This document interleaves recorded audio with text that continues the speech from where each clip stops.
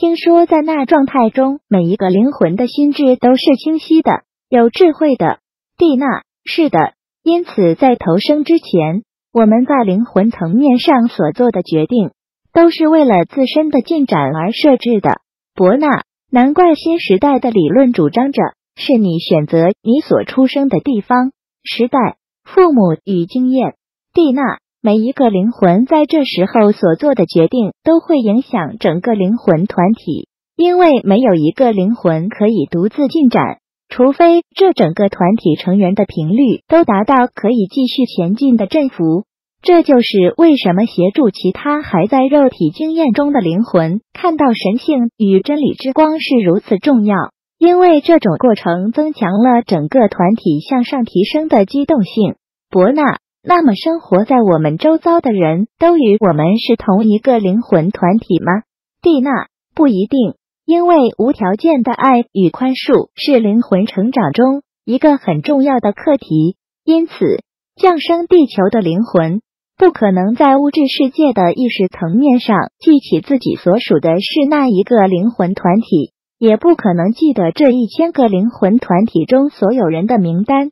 伯纳。所以，我们的周遭还是会有一些与我们意识不在同一个层面上的人，同时也无法评断自己与那些人是否同属一个灵魂团体。蒂娜，因此学习到没有分别心，没有批判，尽力协助需要帮助的人，是个体灵魂进入较高实相的关键。对所有人的爱与宽恕，是灵魂从较低意识层面提升到较高意识层面。不可或缺的主要元素，伯纳，我们可以跳级或跳槽到别的灵魂团体中吗？四十五，如果根据库兹米上师所说的，必须要等到整个团体的频率可以进入第五次元为止，这一千个灵魂才能分开，因为这是这一层面的法则。伯纳，如果这个灵魂团体进入第五次元，便可以重组了。蒂娜。一旦整个灵魂团体进入第五次元，便有不同的方针与规则，因为更高频率的层面将有不同的方案与协议。不过，如果你期望重组的原因是想摆脱那一个你很讨厌的灵魂，那我可以告诉你，你的灵魂团体必须等到你能接纳那个灵魂之后，才能进入五度空间，因为我们不能带着恐惧。愤怒与怨恨进入五度空间。伯纳，讨厌一个人就可以让我成为害群之马，这太可怕了。蒂娜，因此净化你自己，并协助自己的亲人朋友进入光中，是地球上每一个居民的职责。因为只要有一个人无法进入天赋的殿堂，你也无法进入地球的脉轮能量 energy。伯纳，我最近才了解 energy 这个字。中文译成“能量”的意思是能形成一切事物的力量。这样的翻译真是精准，前人还是厉害。但我听说能量运作也是一种宇宙法则，这就不是大家都知道的吧？蒂娜，科学家已发现能量的运转是在一个圆周中持续循环着，大到行星，小到原子、次原子、核子或分子的的运转都是如此。只是很多人没有意识到，我们的身体、思想、情绪、意念、行为也是一种能量。伯纳这么说来，我们所散发出去的意念、行为，无论是善的、恶的，最终都要循环回到原点，也就是我们自己身上。罗蒂娜四十六世的，这就是所谓因果法则的由来。宇宙中的每一件事物本身都是能量。我们也是一种能量的组合，我们的思想、意念、视野、欲望，我们的情绪、感受、言语、行动，都会造成一种由我们自身为起点的能量运作，它最终会回到我们自身。伯纳，许多人以为花钱就可以请别人消灾、清除负面能量。如果可以这样的话，有钱的人就不需要为自己的所作所为负责。这不就等于有钱就可以超越宇宙法则？那不就天下大乱了吗？蒂娜，宇宙的法则是没有任何事物可以凌驾其上或逍遥法外的。只是如果有一群人聚在一起，诚心祈祷，祈求指引，并改变自己及群体错误的思想行为，便可以转化一些负面势能。因为这时所散发的正面能量可以抵消一些负面能量，减轻毁灭性灾难的程度。这是因为心灵的能量先有所转化之故。然而，因无知的行为所带来的因果的学习课题，还是会以不同的形式出现。伯纳，所以如果以商业化的交易与心态来消灾祈福，付钱的人抱着花钱消灾的心态来抵消自己所做的亏心事，负责祈福消灾的人抱着拿钱做事的心态来做消灾祈福的动作。这样的话，形式上好像做到了。实际上却是小和尚念经，有口无心，可能会产生更多的副作用。这就是为什么因果不能由别人来消灭，但可以透过自身思想意识的转化来化解的缘故了。蒂娜，是的，科学家已经证实能量不会被消灭，但可以转化。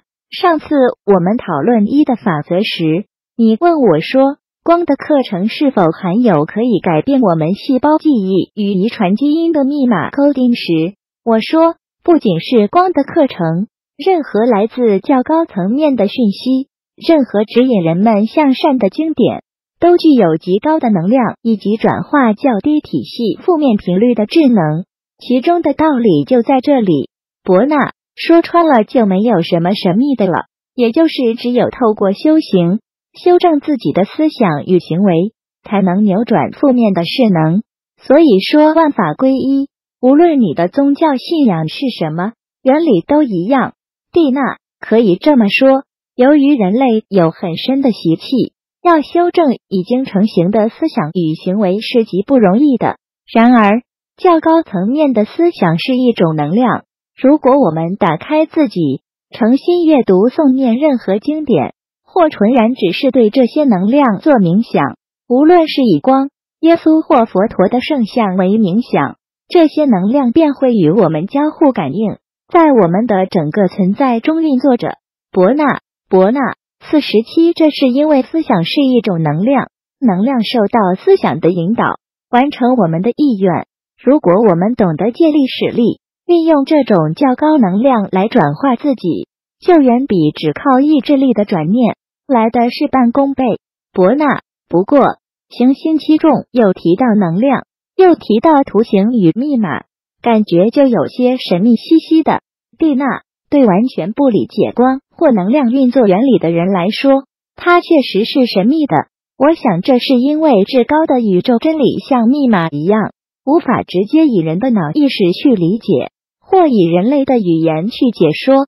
只能透过光或象征光的语言的图形与密码的运作来进行。当这些智慧中的较高思想意识经由灵魂注入之后，较低体系上需要一段时间的实证与融合，才能真正领悟，也才能一买吧。伯纳，有些门派宣称他们所传的法具有密码，是他们的秘密传承，不可以偷学，否则会遭受报应。这是真的吗？蒂娜，这是另一种概念。我们将在讨论入门时探讨这一点。目前，只要知道光的课程中的 code 指的是宇宙智能的编码。光的课程不是一个秘密门派。每一个会踏上光的课程途径的人，都是机缘已成熟，并受到内在指引而进入的人。走在这途径上的每个人都在个人内在导师的指引中，在上师们的守护中。无论是自修或共修，都是光明正大的。但其中有一个前提，就是要有倾听内在指引及识别的能力。吸引力 （attraction） 思想引导能量。伯纳光的课程说，光的运作原理是思想引导能量，能量跟随思想。这种原理是否也适用在生活中的每一件事情上呢？蒂娜，是的。这是一种与磁力磁场有关的宇宙运作法则。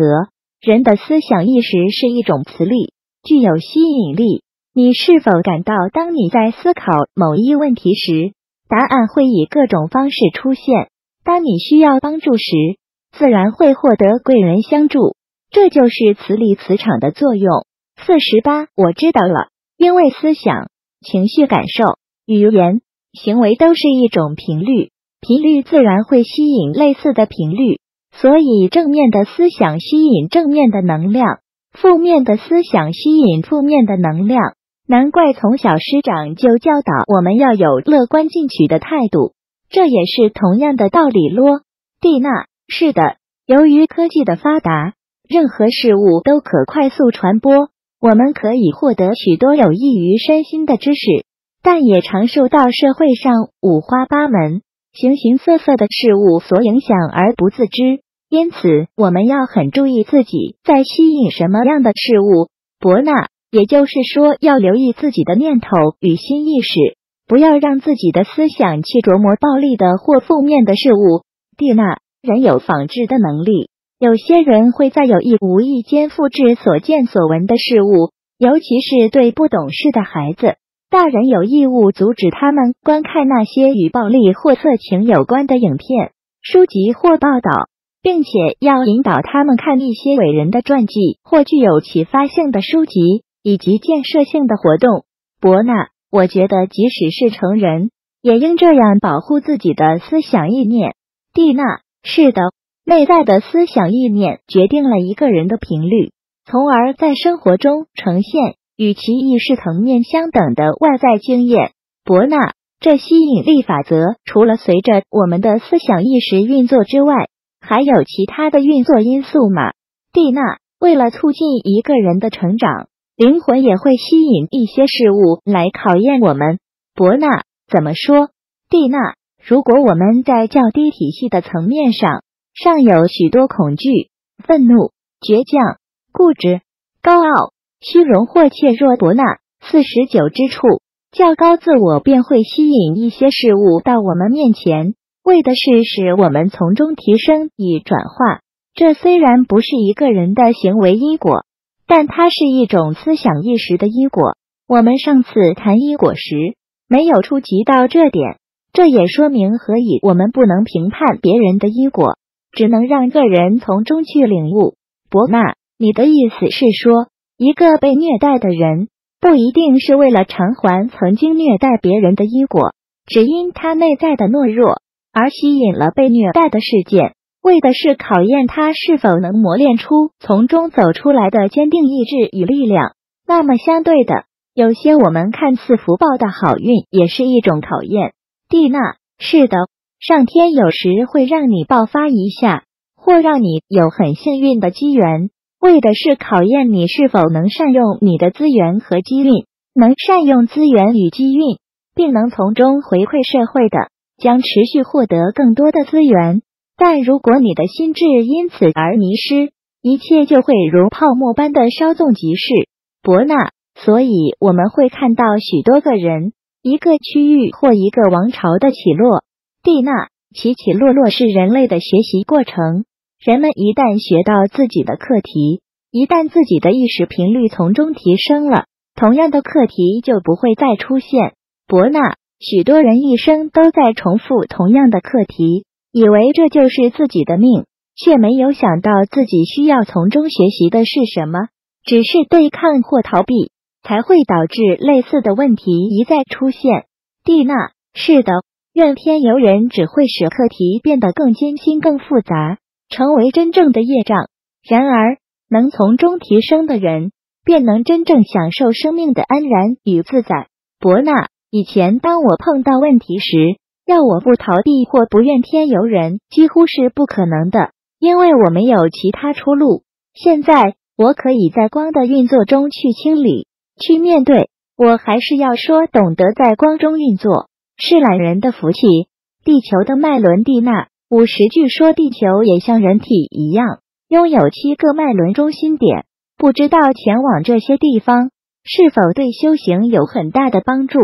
蒂娜，根据资料的说法，地球的确拥有七个脉轮中心点。那些中心点的所在地分别是 East Chakra Mount Shasta，美国加州雪。是达山二 N D Chakra Lake Titicaca 秘鲁普诺河的的卡卡湖三 R D C H A K 二 A 杠 U L U R U 杠 K A T T J U T A Australia 位于澳洲的国家公园，就是那块巨石四 th Chakra Glastonbury s h a f t s b u r y England 的这两城市在英国西南部，后者位于南安普敦 Southampton 附近五 th Chakra Great Pyramid Mount of Olives 埃及大金字塔及以色列耶路撒冷橄榄山六 th Chakra Kari Molek Sara 位于伊朗境内七 th Chakra Mount Kalis。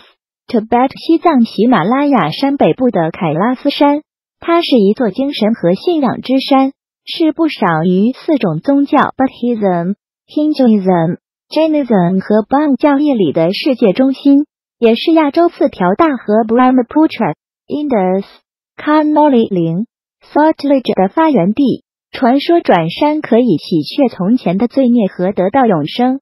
对于徒步者，它的未知充满着吸引力。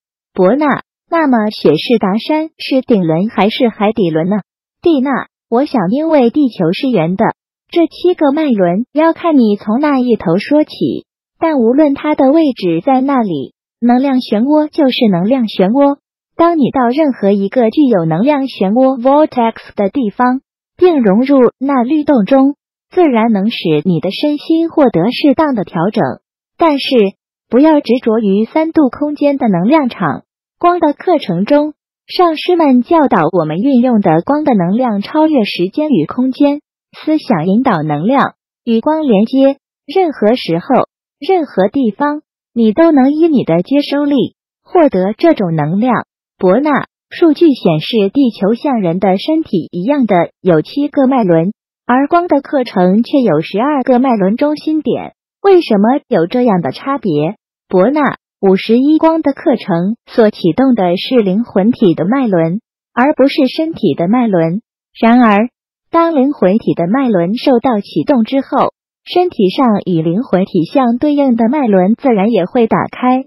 伯纳，我注意到课程用的是“启动”两个字，意思是如果我们不启动它，它就不会运作了。蒂娜，在正常情况下。它是运作的，只是大部分的人在地球生命的活动中，思想与行为已有许多违反宇宙法则的地方，因而封闭了与灵魂连接的通道，使得灵魂体处于静止的状态，直到较低体系中的自我对自身灵魂有所觉醒时，能量才会大量的注入物质层面中的较低体系。伯纳，人的身体除了七个主要脉轮之外。尚有无数的脉轮，我相信地球也是一样。上有许多能量中心点分布在整个地球上。蒂娜，不仅是地球这球体中有许多大大小小具有能量的漩涡，我们作为地球上的公民，每个人都是地球的一个细胞，我们自身就是地球上一个可以接收与传送能量的一个脉轮中心点。当我们打开自己。接收至善的能量，便是在协助地球的转化。当我们封闭自己，散发较低的能量与意识，便是在阻碍地球的进展。伯纳，因此重要的是自己内在心灵的运作与成长，而不是真的到地球上的某个脉轮中心点上去打开与自己身体相对应的脉轮，好像照个相已是，到此一游的态度，这样是无济于事的咯。蒂娜不是叫你不要去那些地方，而是说你到了那些具有特定能量磁场的地方，要是能配合那磁场的律动，并调整自己的身心意识，相信那特定的磁场必然有助于你打开自己的脉轮。只是在你离开后，如果你又回到旧有的思想与行为模式时，那些能量还是会消失，你的脉轮也会再度封闭起来。频率轮回之探讨频率 vibration 五二能量与频率之间似乎很难区别，感觉高频率就是高能量，低频率就是低能量，是这样吗？蒂娜，高频率形成高能量，低频率形成低能量，两者之间有相辅相成的作用。伯纳，那频率振动是以什么为衡量标准呢？蒂娜。通常是以周期的震荡次数来衡量物质与非物质的能量体之间最大的不同，就是频率振动的不同。物质体比非物质体，如精神能量体的振动频率低，属于小我的负面思想频率比属灵的正面思想频率低，因此三度空间的频率比五度空间的频率低，三度空间的能量也因而比五度空间来的低。伯纳，各种频率的振幅会与我们有关系吗？蒂娜，不同频率会吸引与自身频率共振的事物。就拿乐观与悲观两种形态来比喻吧。乐观的振动频率高，自然吸引同样高频的事物，容易形成光明、喜悦的外在经验。反之，悲观的振动频率低，就会吸引低频率的事物，容易形成阴沉、晦暗的外在经验。伯纳，频率既然是一种振动波，我们是否会受到别人所散发的较低频率所波及？蒂娜对觉知力不够的人是很容易被波及，或者应该说很容易被引发自己内在原有的东西。目前，一般的群体大众尚在未觉醒的状态中，对自己处在什么样的环境中没有敏锐的觉知力，因此很容易互相影响，造成负面循环。伯纳，所以遇到低思想频率的人或地方，最好逃得远远的。蒂娜。我们可以少去一些较低频率的地方，但在日常生活中，如果我们的焦点只是在看自己周五十三遭有那些人的频率低，那些人的频率高，便很容易造成对立与批判，而往往这些批判只是个人的投射，与实相无关。这种批判不仅为自己制造学习的因果，也延误了个人的进展。要知道自己之所以会受到低频率的影响，是因为自己的内在上有与这些频率产生共振的元素。伯纳，所以重要的是要能觉知自己的意识状态，而不是去为别人的意识频率打分数。只要能将自己从自己的低频状态中提升出来，并超越这些批判与感受，凝定在较高的思想频率中，便不会受到影响，是吗？蒂娜，是的，但我发觉，如果只靠头脑的意识要做到提升与超脱，会很吃力。但运用光的能量去转化自己以及周遭的磁场，便轻松容易多了。伯纳，这种借力使力来与较高频率连接，并运用较高频率转化较低频率的原理，真是懒人的好方法。蒂娜，愿意去为自己的身心状态负责的人，不能算是懒人。何况能达到这种觉知的人，必走过一段相当长时间的面对自己、清理、净化与提升的过程。在身体、心智与心灵上，越是能与光同化融合的人，转化的速度就愈快，也愈能掌握自己的生命，达到圆满。伯纳，这就像任何专业的磨练一样，要达到精炼纯熟，需要下一番功夫。但是在我的功力还不到那程度时，我想还是三十六计走为上策吧。蒂娜，如果你是没有带着批判与愤怒的退开，了解彼此是面对同一时间却在不同的角度与不同的层面上看事情时，你既无法妥协，也无法强迫别人与你有一样的想法，便选择退一步海阔天空，这当然很好。但如果带着批判与愤怒，无奈的离开，甚至伺机寻仇，便是下策。因为你不但无法建立良好的人际关系，你的生命将因恐惧而受到局限，也使自己卷入更多的因果的学习。伯纳，那怎么做才是上策呢？蒂娜，五十四，从这些见光倒影中去看自己的内在心识。否则，你的生命课题将从其他地方以不同的模式一再向你挑战。伯纳，爱好像怎么逃都逃不了。蒂娜，别急，别急。一旦我们选择在光中进入较高的意识层面，在较低意识层面中的一切现象就不会再以课题的模式呈现在你面前了。伯纳，你的意思是说，当我们较低意识所引发的痛苦因果。被光的较高意识净化时，我们才能真正解脱。看来习修光的途径是一条可以迈向自由的途径咯。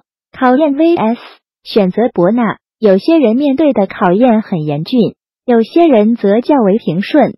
这是属于因果法则，还是思想频率法则的范畴呢？蒂娜可以说是思想频率的因果法则，因为因果也是人们产生特定思想意识的种子或起因，因此他们是互为因果。在灵性成长的过程中，每个人都会受到各式各样、大大小小的考验。面对这些考验时，我们所选择的思想、态度与行为。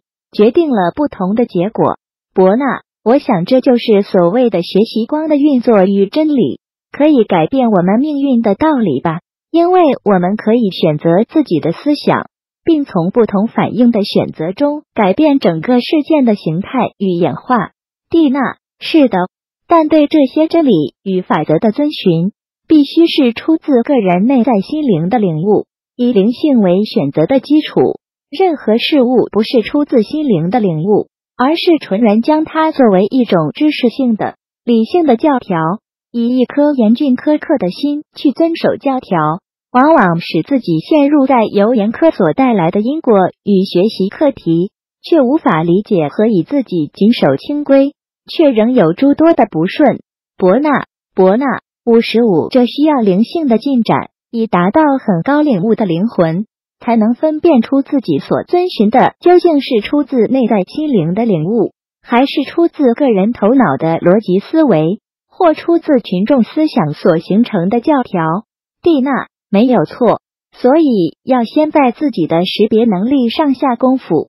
伯纳，识别而不批判是一种很高的素养，我想也是走在光的途径上的灵魂进展到这一特定阶段的最大考验。我发现自己只要一不小心，就陷入在批判中。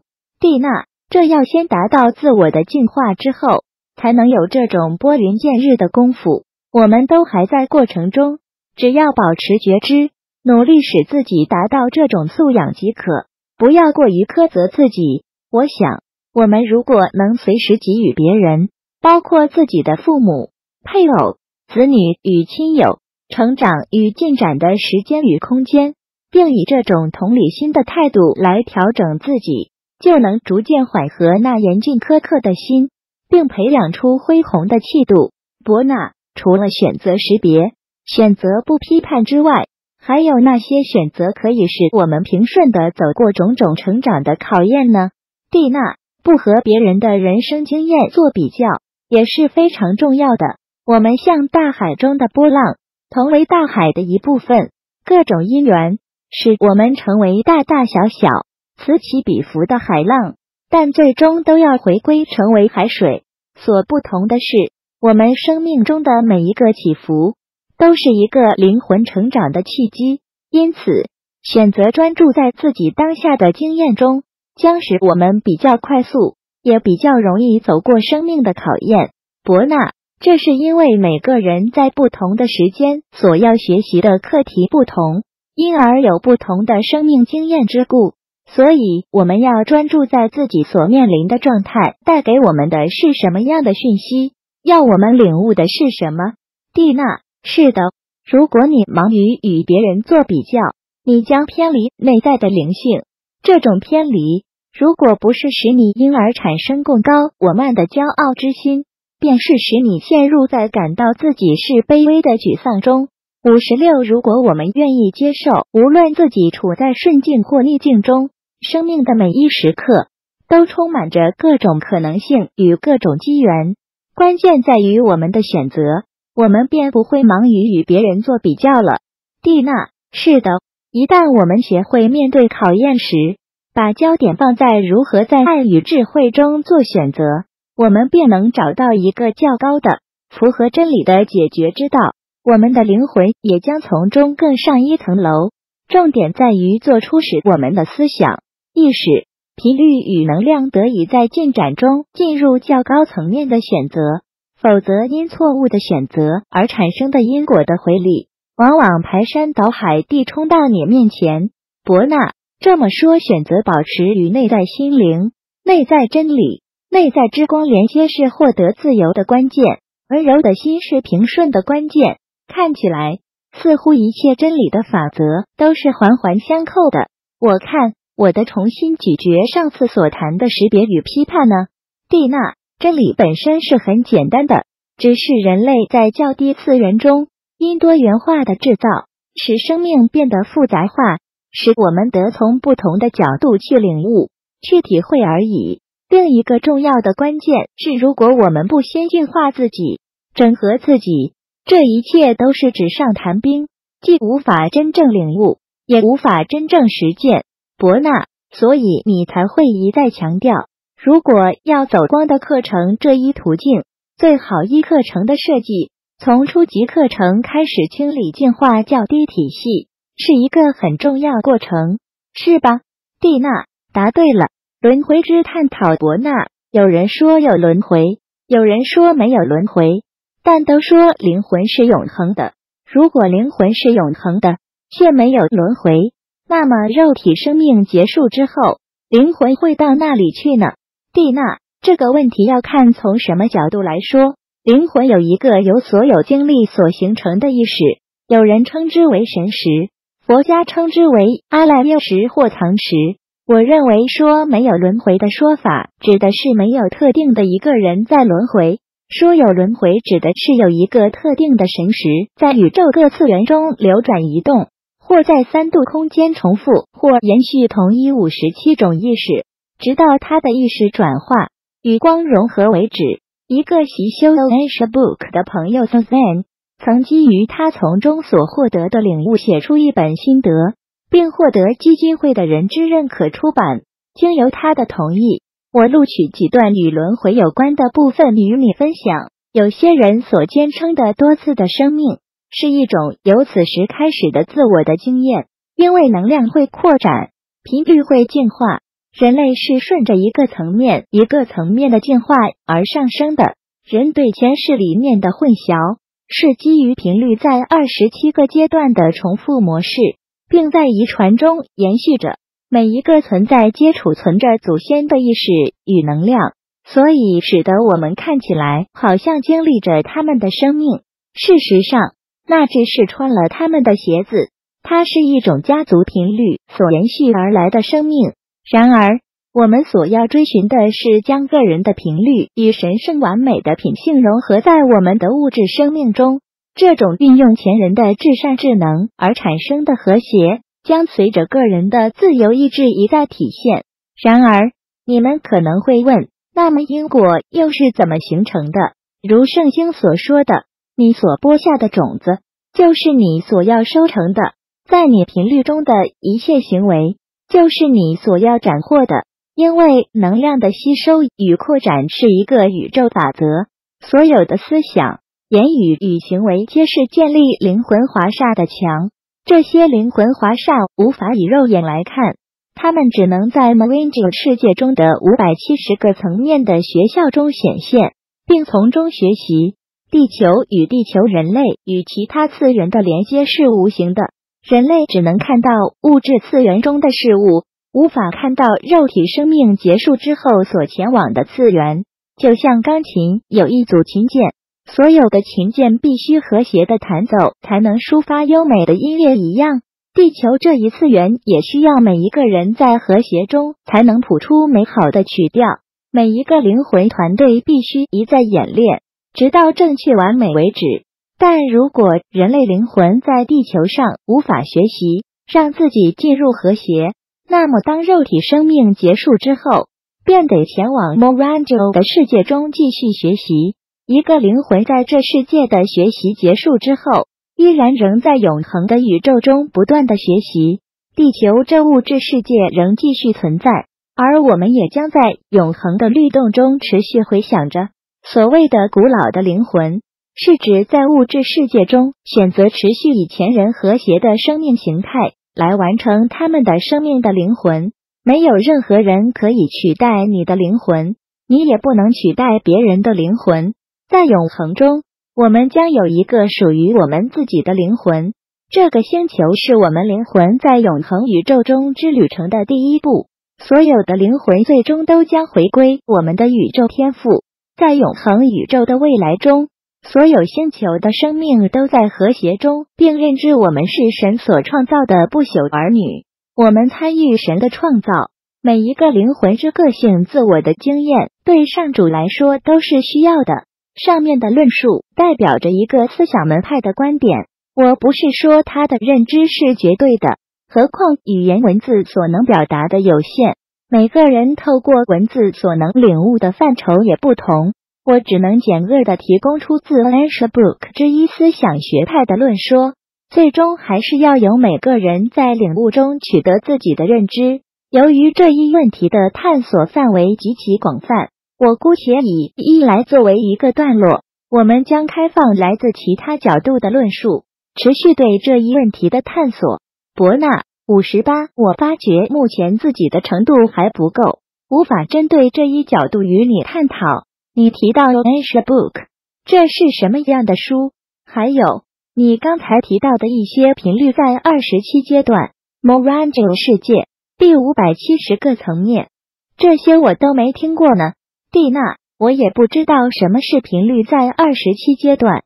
这需要研读过这部经典的人才能理解。我们目前只能从 Susan 的论述中取得一个另一学派的观点。这部经典我只看过一遍，很想多看几次，只是一直还没有机会，因它太浩瀚了，有二千页之多，涵盖天上人间的一切事物。它是一部二十世纪的经典，许多人是穷其一生在研读，就像有人持修一本圣经。有人持修一部华严经，有人持修一部法华经一样。这部经典属于安水基金会，已有许多不同语言的翻译。目前的中文翻译正由大陆的一群学者在进行着，预计二零零八年出版。Morangian 的世界，据我的理解，是一个属于以太层面的层层次元。佛家所谓的中阴世界，在经典中有上百页的讨论。你可先阅读英文人版，或等中文版问世。我建议你看英文人版，因它优美文字的运作，使人在阅读中便能获得赏心悦目的享受。十多年前，我曾译出它的简介，为的是希望接引一些朋友们阅读这部经典，但一直未看到有人进入这部经典。也许是时机尚未成熟吧。宇宙法则。一的法则，宇宙法则 （Universal Law）。伯纳，我们常常听到的宇宙法则，指的是一种宇宙的法律吗？蒂娜，宇宙法则指的是宇宙万物的运作原则，当然，它也意味着一种规则，像交通规则一样。如果大家不遵守规则，小则造成交通混乱，大则造成伤害。伯纳，但一般人对这种看不见、听不到。既模糊又神秘的原则是很难搞清楚的。蒂娜，早期因地球稠密的频率，只有少数开悟的智者能参透这些道理，并教导这些宇宙法则。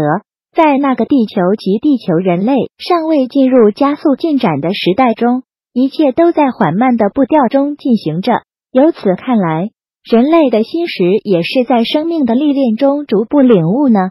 伯纳，五十九，现在。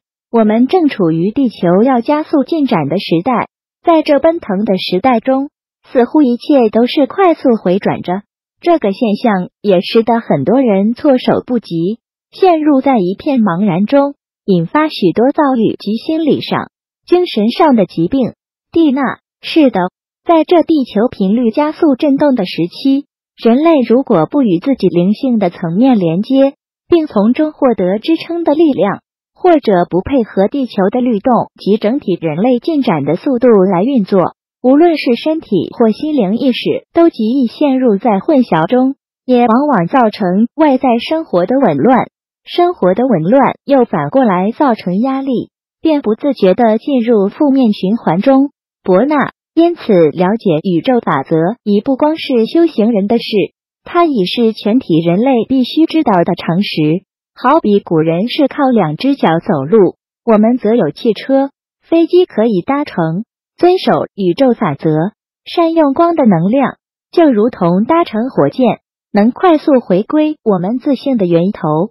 蒂娜，是的，你的悟性真是越来越高罗。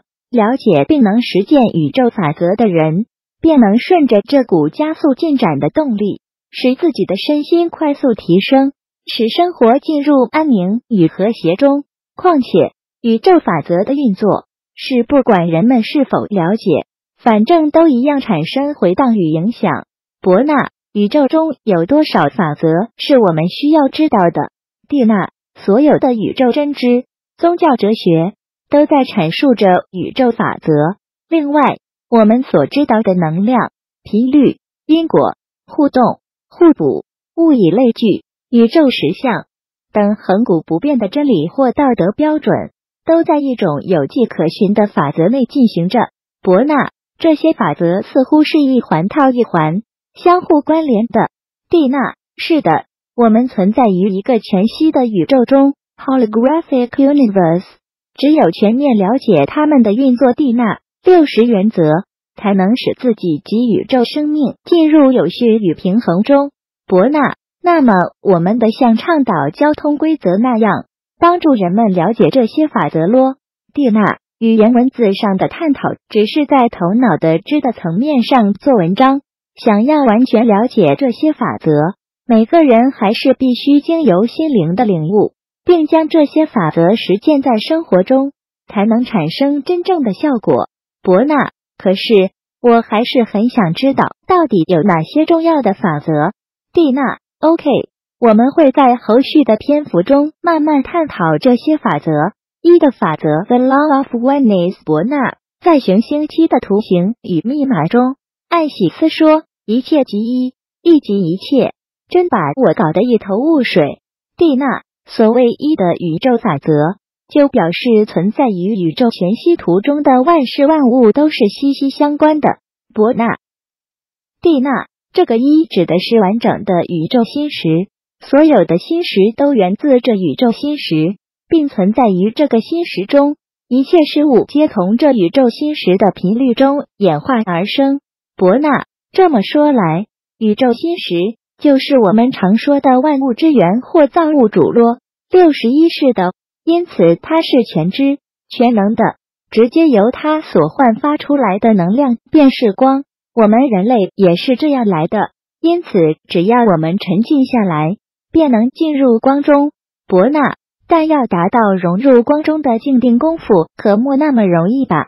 蒂娜，我们的肉体生命是光的频率层层降低之后的物质层面，因此要回到光中，还是要逐步提升意识与频率。这就是为什么上师们提供了光的课程这个途径，为的是带领我们从较低体系的层面开始提升与进化。伯纳，有些人宣称在静坐中看到光的色彩，或能看到物质体外围发出的光，这就是进入光中与光融合吗？蒂娜，在静坐中看到光，还是属于较低体系的交互感应作用，是身体神经系统的响应。与正入光明自性是两回事。然而，如果能认知这点，不执着于这种境界，继续深入，便能达到整合较低体系的效果。伯纳，有人说光的课程含有频率密码 coding，可以改变我们的细胞记忆与遗传基因，这是真的吗？蒂娜，不仅是光的课程，任何来自较高层面的讯息。都具有极高的能量以及转化较低体系负面频率的智能。除了光的课程之外，其他来自较高次元的体系所传的资料也是如此。阅读这些数据及任何大统宗教的经典，一样可以接收基督圣灵、诸佛与众神的加持。这是因为，当我们阅读经典或上师们的讯息时，尽管我们不一定全面了解其中的含义。但思想意识便同时与之产生共鸣与共振，所以我们还是都能接收到蕴含在讯息中的智能。有人把它称之为密码 （coding），这不是什么神秘的事物。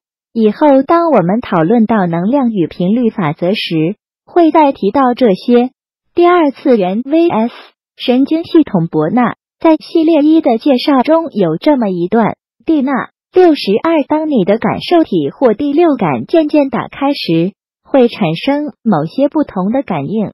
你的梦境会显得更清晰，或在第二次元的层面上发生。曾经出现在你梦中的事件，有时候你或许会有头重脚轻或某种不平衡的感觉，这是因为你正在密集的清理你自身的神经系统，以及正在清理理性体上虚妄的影像。这种情况在使用橘色之光的过程中会更为突出和明显。这里所说的第二次元的层面上发生的事指的是什么？蒂娜。First dimension 第一次元或第一度空间指的是点以及由点所组成的线，是长度。Second dimension 第二次元或第二度空间指的是由线所组成的具有长度与宽度的面。我们内在的思想意识便在这层面上创造一切未显象的事物。当宇宙的创造势能持续运作时，便在第三次元或第三度空间具体显现。我们梦中的事物往往先在第二次元中演出，在强烈的思想焦点下，它持续在第三次元中显现。当我们在最高的觉知中时，便能清除正在第二次元中所进行的虚妄的或负面的创造，使它不致呈现在第三次元的显象世界中。因此，在光的课程中，行星的较高级次便常常带领我们进入起因体的层面。进行清理与进化的运作。伯纳教材中好像没有明确的告诉我们起因体到底在身体的那一部位。蒂娜，起因体不在身体的器官上，它像阿卡莎记录一样，在心灵意识中。我们的精神，我们的心是多次元的，因此这起因体也贯穿在多次元的层面上。伯纳用点线。面来诠释我们的创造真有意思。那么行星中所用的三角形及金字塔等几何形体，是否也属于多次元的能量运作与交互感应呢？那么它们必然也有特定的含义了。蒂娜，是的，它的含义很深，它涉及数学与天文学，无法三言两语的说清。很多时候，上师们不想把我们绕到理论中。他们希望我们把焦点放在能量的运作上，因此一些理论性的东西便点到为止。当然，作为学生，我们自己可以去探索。以后有机会我们再来讨论。今天先就你对这段的问题来讨论。伯纳，这里特别提到神经系统，为什么？伯纳，六十三神经系统不仅吸收人与人之间所散发的思想与心灵意识。也吸收来自较高层面的思想与精神意识。我们要从动物性的自我回归神性自我，必须了解至高层面的精神意识以及神圣计划。要达到这点，我们的思想、我们的心灵都需要逐步领悟宇宙意识。这种领悟来自较高能量所注入的较高思想意识，因此强化神经系统是一件非常重要的事。也就是说，我们的身体需经由一段很长时间的调整与训练，否则脆弱的神经系统将使我们无法承受来自较高层面的频率。因为如果让较高频率骤然注入纤细的神经系统中，将会在身心上造成极大的伤害，甚至导致死亡。伯纳，哇，听起来好像武侠小说的走火入魔。那如果我们没把前面的级次修好，便进入恒星级次，会产生伤害吗？蒂娜，来自较高层面所注入的较高能量，是依每个人的意识层面而定。灵魂自身会依每个人所能接受的能力转化、调整注入较低体系的能量。在光的课程中更是如此。每个人将依自己的时间与速度而学习与进展。伯纳。也就是说，如果我们浑浑噩噩的混下去，而不去真正打开自己的意识层面，不去面对自己日沟里的思想与情绪，甚至自以为是天才，可以跳级，那么即使我拿着行星八、行星九，甚至天使级次的教材在看，较高次元的能量也不会注入我的较低体系中。蒂娜可以这么说。因此，在光的课程中。每一级次所带给我们的，不是更深奥的宇宙天文学或哲理，而是更高、更细致的能量。这种能量自然会将较高智慧注入我们的存在中。许多伟大的发明或设计，便是在较高智能的启发中产生的。伯纳，所以说，为了迎接这种更高、更细致的能量，我们必须逐步的唤醒我们中枢神经系统的每一个能量中心点，并学会掌握每一个脉轮中心点的运作，是吗？蒂娜，对了，就像你贵为博士候选人。仍然谦和的从最初浅的第一级次开始，一个级次一个级次的走过它，这必然是来自你内在的智慧。六十四 N，只能说我没有笨到不知道自己尚未开启那自身存在中的至高智慧。我就有朋友看到初级教材从身体开始，认为自己身体很好，只是 EQ 不好，造成许多人际关系的困扰。为了快速调整情绪。便直接进入第二级次情绪体，结果身体出现很多状况。蒂娜由身体级次开始，不是因为上师们认为我们身体不好，而是当一个人踏上光的途径时，表示他愿意向较高灵性意识打开。这时较高次元的频率自然会开始注入各个体系上，而身体是第一个接收这些频率的载体。因此，我们必须在身体的层面上做好准备，尤其是神经系统需要更进一步的强化，才能承受较高频率的注入。伯纳，走完第一级次，我们就能把身体调整到位吗？蒂娜，当然不是。心灵的进展需要我们的身体这一载体的配合，以便适当的承受较高能量。然而，身体的转化也需要心灵意识配合进展才行，两者是相辅相成的。因此，在光的课程中，无论那一级次、那一阶段，光的能量都还继续在我们的身体上运作，一点一滴地精炼我们的身体与心灵，使我们的身心成长得更茁壮、更细致。伯纳，难怪即使到了行星的较高级次。还看到上师们重复不断的带着我们引导能量在我们的身体上运作，我总是为这些一再重复感到不耐烦，好像每个级次都在做同样的事。现在我明白了，每一级次能量运作的程度与层面是不同的，这也是为什么每进入另一级次，身体也还是在产生一些不同的 process。现在我最想知道的是，如果我们从头到尾走过一次，是否就能把身体调整到接收较高频率的状态了？蒂娜，这要看每个人的根基。一般人很少一次就能完成上师们在每一级次设定的目标。很多人在回头重新复习时，才发现自己对上师们的讯息有真正的领悟，身体也才真正的开始转化。伯纳。很像有人终其一生专修一部经典，在反复中逐步提升与领悟一样。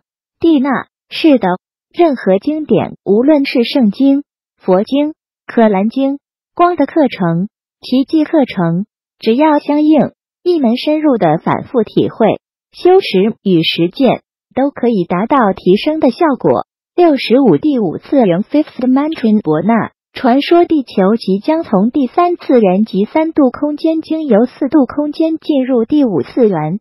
我知道三度空间是我们所存在的世界，但四度空间是什么？五度空间又是什么？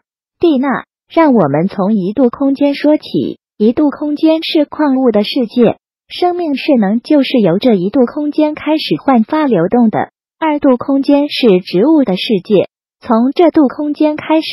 生命依自己的形态而复制。我们发现，从这度空间开始，一切生命都需要光来维持生命。三度空间是一种由精神透过物质显象而成立的空间。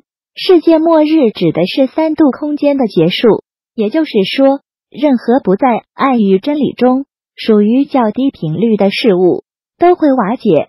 在这地球即将进入第五次元的前夕。能调整自己的身心意识，并愿意从较低频率转向较高频率提升的人，将比以往的任何时代更能顺着这股能量上升，并在大宇宙中向更高的次元前进。不愿意做提升与改变的人，则很容易在个人的生活上、精神上或身体上出现问题。这是因为自身的频率不能与转化中的地球频率产生和谐共振之故。当地球要进入五度空间时，有些迷恋着三度空间之物质现象的争斗、吵闹、吸毒、悲伤、忧愁、控制等游戏的人。将会前往与他们的意识相应的地方，继续玩他们所喜欢的游戏，直到他们想改变为止。四度空间是以太星光体的层面，通常是出离开肉体生命、未能进入较高次元的灵魂所存在的空间。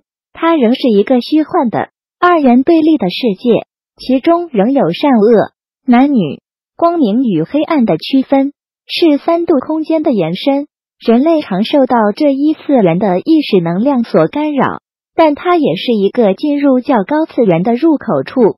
必须通过这一次元才能进入更高的次元。五度空间是一种在完全和谐之精神意识的纯能量体的存在们所处的空间。那是一种细微的四维能量，也就是爱的能量。伯纳，除了五度空间以外，还有更高度的空间吗？蒂娜。尚能用语言来描述的还有六度空间与七度空间。六度空间是一个更高频率的世界，有着全然不同的色彩与音律。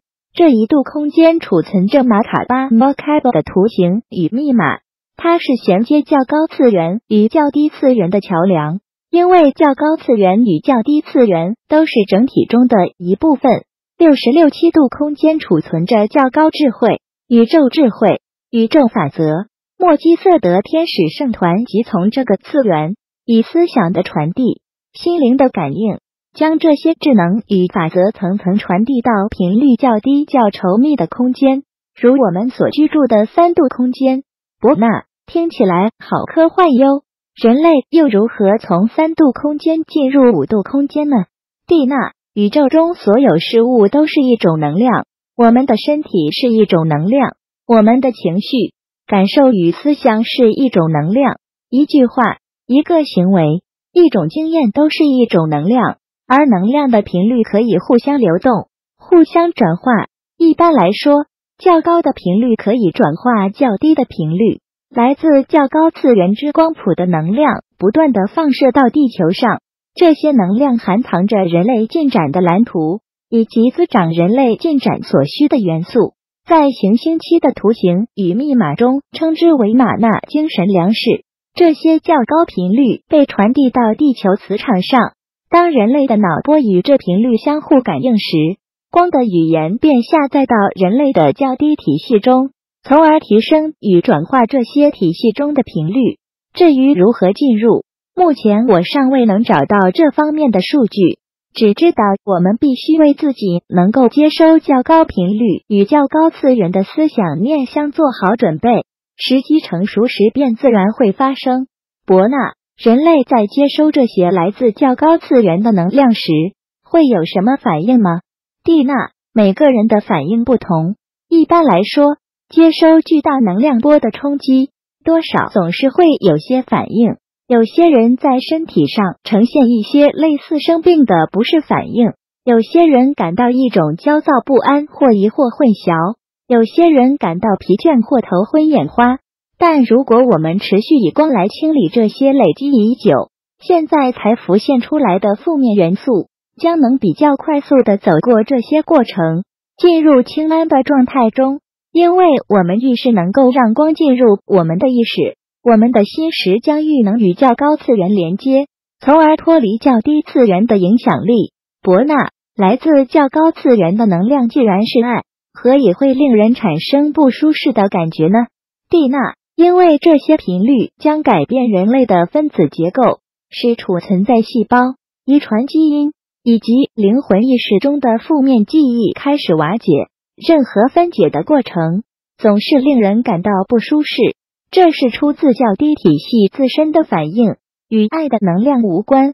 蒂娜六十七光的课程与通灵中性阴阳平衡、刚柔并济是地球及人类进入第五次元的必备条件。伯纳有人说，现在男人太软弱，过于女性化了，而女人太强悍，过于男性化了，认为这是世风日下。有人则说，这是因为地球需要阴阳平衡，因此男人与女人都在求取平衡。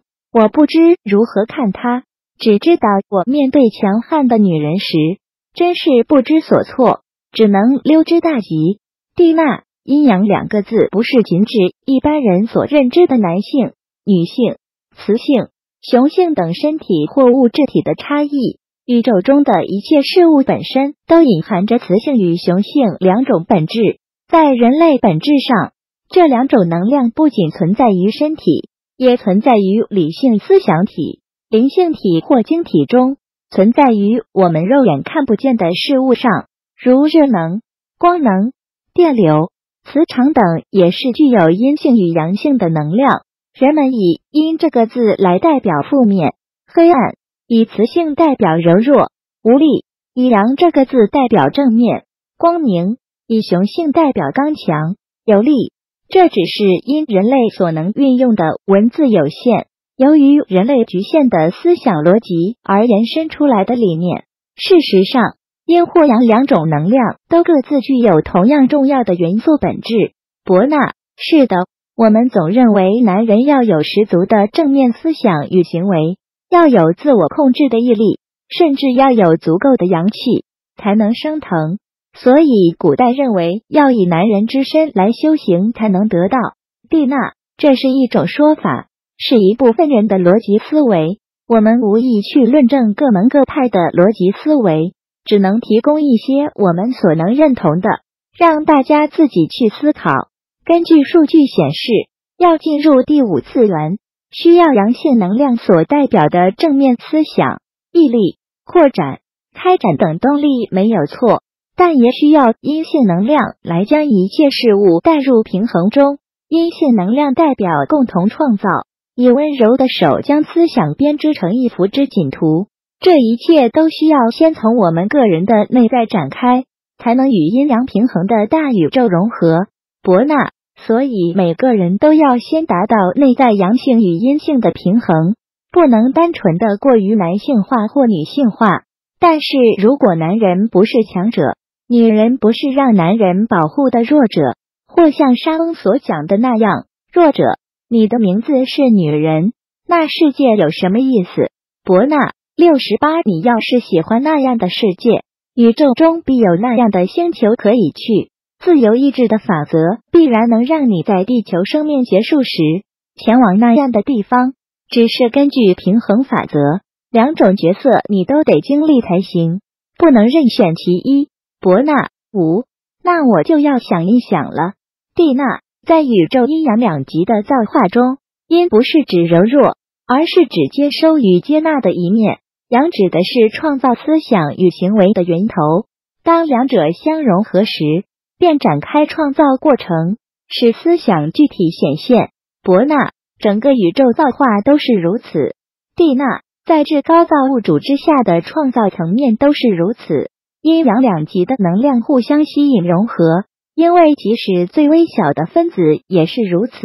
造物主至高创造层面是一种思想 logos。因此，其智慧无所不在，而这智能本身便含藏着阴阳两极的能量。伯纳，所以人也含藏着阴阳两极的能量。我们必须使自身之内的这两种能量平衡，才能提升，并且无论是男人或女人都一样可以提升。蒂娜，是的，人类必须能纯熟地运用阴性能量接收思想、梦想、事业。并运用阳性能量使它具体显现。伯纳，我们如何让自己达到阴阳平衡呢？蒂娜，在静默中倾听灵魂层面较高自我的指引，学习让你的思想、情绪、语言、行为都是阴阳平衡，也就是刚柔并济。外柔内刚或外刚内柔都是一种不平衡。六十九，我还是不知道什么样的情况，我就是达到阴阳平衡或刚柔并济。蒂娜，这是没有准则的，只能说当阴阳平衡时，一个人便与自己的较高自我是整合的。这将使他在任何情况下都具有应对的直觉能力。行星课程中要我们在动力磁场与磁力磁场上运作，是一种帮助我们整合这两面磁场的方式之一。当你有意识的引导光的能量如实运作时，它所蕴含的智慧便会在我们整个存在中依我们所能接受的程度运作。伯纳还是太抽象了，蒂娜。也许我们可以从阳性特质与阴性特质来讨论，但不要将它误以为我指的是女人或男人的特质。阴性特质不论断、不执着、顺应、开放、沉静、和平、谦卑、能响应、守信、小心、谨慎、尊重生命。阳性特质承担、择善固执、独立自主、运筹帷幄、同理事物。辩才无碍，进取、自信、不受局，有勇气、有胆识、有冲劲。当我们能整合这些特质，知道什么时候、什么地方该运用什么特质，我们便具有人类的全部潜力，也是人类要向更高次元进展的必备条件。伯纳，是的，置身于一个这样高智慧的群体环境中。是要比置身于一群不是过于强悍就是过懦弱的女人群中要好玩多了。对不起，应该说，无论是置身于一群过于强悍或过于懦弱的男人或女人中，都不好玩。光的课程与通灵博纳，很多人修了光的课程以后，似乎就打开了通灵的能力。这是为什么？蒂娜，上师们设计光的课程，并非为了培养灵媒。而是为了带领我们向更高的精神意识进展。然而，要向较高灵性进展，清理、进化与打开觉知与敏锐度是必要的过程。知见与定力不够的七十人，打开敏锐度之后，就会开始玩一般人所谓通灵。伯纳，很多人对许多未知的世界感到好奇。一旦有人宣称他们可以感知自己所不知道的事，便会出于好奇或好玩而趋之若鹜。只是很多人找这些通灵人之后，抱怨受骗或受到操控，因而影响光的课程的形象。我们是否应该澄清这一切行为与光的课程无关？蒂娜，我们只能向大家解释，每个人的心性不同，欲望不同，便各自有不同的对光的课程的理解与表达。更多习修光的课程的人。并没有开发出通灵能力，但他们所开展的是其他方面的能力，譬如写作、绘画、创造力、沟通能力、处理事情的能力。有些人觉得自己有更高的智慧去理解很多事情，工作与事业更为顺心；有些人则得以使一些痛苦的人际关系真挚圆满；有些人则开发了通灵的能力。这时，旁边的人便必须以自己内在的智慧去识别是否接受这些人所通给你的讯息。伯纳，嗯，我的确感觉自己更有创造力，以及对事情的处理能力也更有智慧了。但就一般而言，通灵到底是怎么一回事？蒂娜，因为我们每一个人都有不同的思想、欲望与心智，因而都散发着不同的。也就是我们称之为频率的电流或电波。一个有素养、守纪律的人所散发出的电波，与那些粗俗卑鄙的人所散发的电波是极不相同的。伯纳，这与社会地位、个人财富或学历有关吗？蒂娜，完全无关。往往一个的简朴的乡野村民所散发的频率，比那些在世俗上功成名就或学问、学历很高。品德却很粗鄙的人的频率要高出许多，这种频率无法隐藏、伪造或用任何理由来掩饰。每个人所散发的频率都让人立即知道他们是什么样的人。伯纳，但一般人感受不到这种频率，而那些开启感受体、具有敏锐度的人，便能感知并解读这些电波，就成为所谓的灵媒了。蒂娜。七十一可以这样解释，但灵媒有许多不同的层次，这是因为每个灵媒的意识层面不同，所能通道的层面与所理解的、所解读的也就各不相同。因此我们无法在这里用一个公式去为灵媒这名词下定义。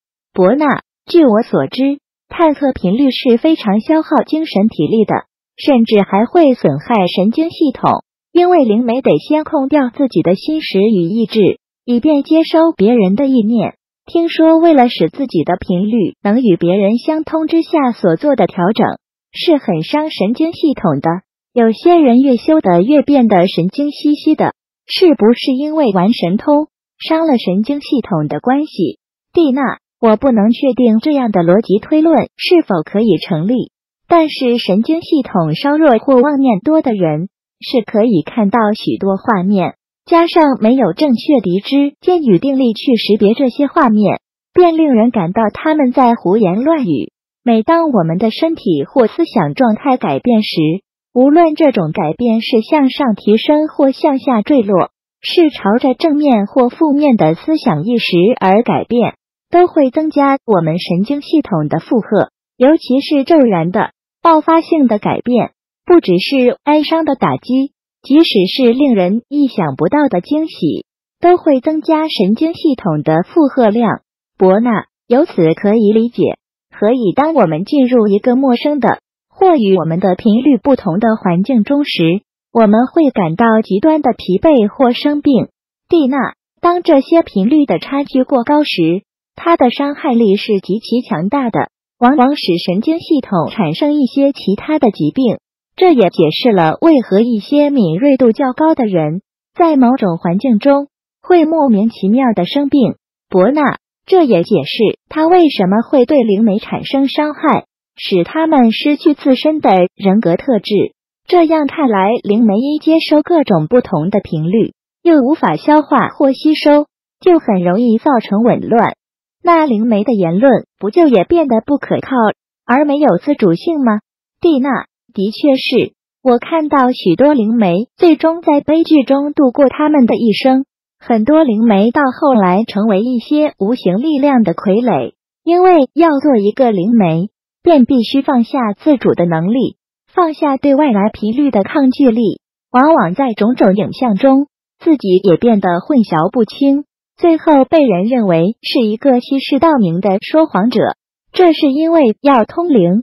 他们就必须放下自己的思想意识，因而逐渐失去他们自身的意志力，最终只能做一些七十二猜测，而猜测就会有准确与不准确的时候。伯纳，但是我碰过一些灵媒，宣称自己不受别人影响，因此不会感到疲倦，而且他们似乎越说越起劲。蒂娜。这种情况大多是因为他们所通出来的讯息不是来自被解读者的思想意识，而是出自他们自己内在意识的投射，或是出自他们敏锐的观察力，甚至是出自他们对别人的窥视。伯纳，我想滥用通灵能力，或给了他人错误的讯息，将会在自己身上制造许多因果业力的。蒂娜，这是必然的。伯纳。看来成为灵媒是一个很大的挑战，没有我想象的好玩。如果我感到自己神经兮兮的，好像预知很多事情，或者知道很多别人的事情时，是否代表通灵的前兆呢？蒂娜，南怀瑾老师常说神通与神经是兄弟，两者真的是一线之隔。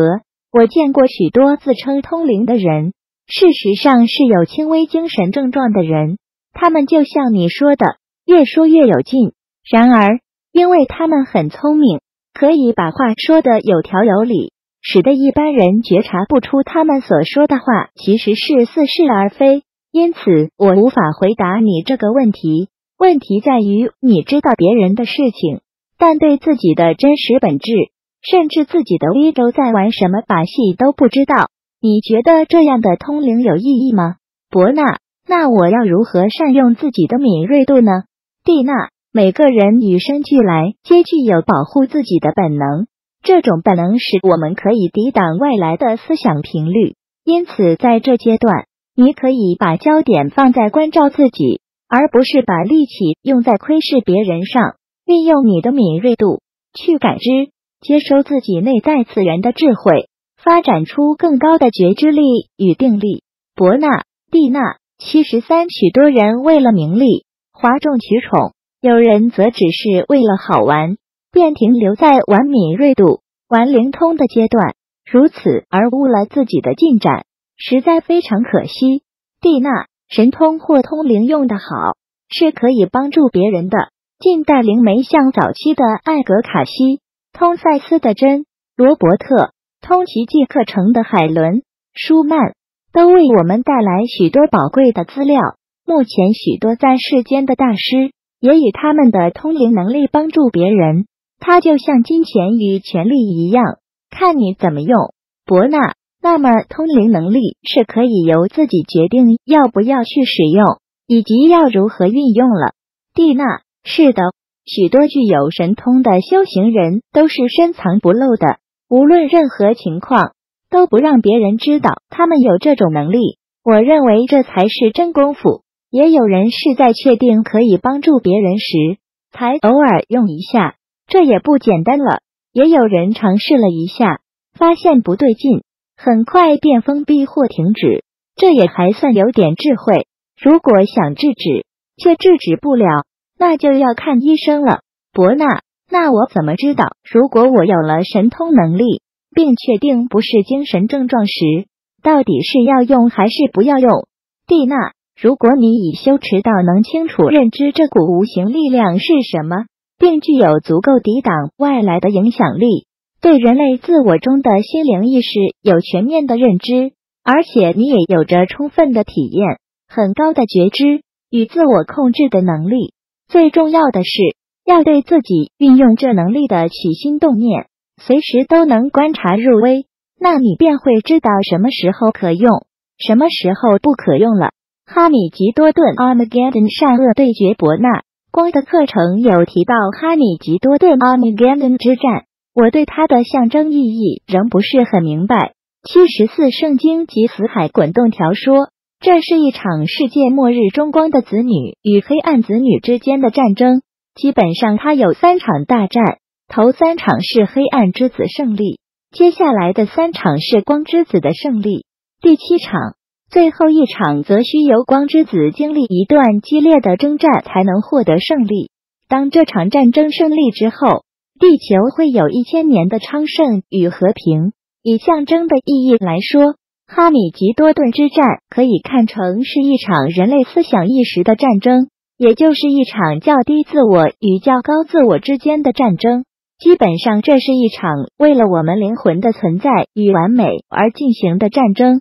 上师们以这名称来形容我们在灵与肉之间，或者说在较高自我与较低自我之间的矛盾与挣扎。伯纳，所谓的光之子女是代表什么样的灵魂啊？蒂娜，这些灵魂直接来自其他次元，很多灵魂投生在地球上的次数并不多。因为他们已从其他次元中学习了许多课题，并深知较高次元的实相。在双鱼座时代及那之前的时代，当他们选择投生地球时，他们往往选择成为僧侣、修女、教士、喇嘛、瑜伽行者的角色，主要是因为他们到地球上来是为了将光明的意识带给人类。然而，在宝瓶座时代。这些光的子女以一般大众的角色出现，置身于平凡的环境中，因为这是宝瓶座纪元的计划。他们大多生在中产阶级的家庭，有些生在经济条件较差的家庭。这是为了使他们得以了解民间疾苦。这些灵魂会投生在各种严格的宗教家庭中，但随着思想的成熟，他们会背离那些只有人为的制度与教条。却没有精神实质的宗教或教会，因为他们记起宇宙真理以及回到宇宙天赋的真正途径。这些灵魂分散在各行各业中，会个别的经历一些危机或苦难，以便从中获得觉醒。否则，在他们人性自我的层面，甚至灵魂层面，都会因满足而代谢，或沉醉在三度空间的幻象中。危机与苦难使这些灵魂停止感官的享受，并开始向内探索。最终，这些灵魂将把心灵的本质落实在生活的每一层面。但他们不是来创办新的宗教，他们来是为了展现灵性真理，为人类指出一条走出枷锁、进入丰足、繁荣与和平的路。伯纳，那么不了解宇宙真理的人，便是地球的原始灵魂吗？蒂娜，从所有的灵魂皆是造物主的受造物来说，所有的灵魂都来自较高次元，只是这些灵魂所经历的，更多的是地球或其他类似地球这种有形世界。他们喜欢物质世间的幻象，又因为还没有学到光与爱，而陷入在贪婪的欲望中，以致必须一次一次的重返地球，直到他们领悟为止。目前地球上大约有百分之九十是这样的灵魂，但并不是说这样的灵魂存在的价值就低于对灵性有较高领悟的灵魂，只能说每个灵魂所熟悉、所能掌握的层面有所不同。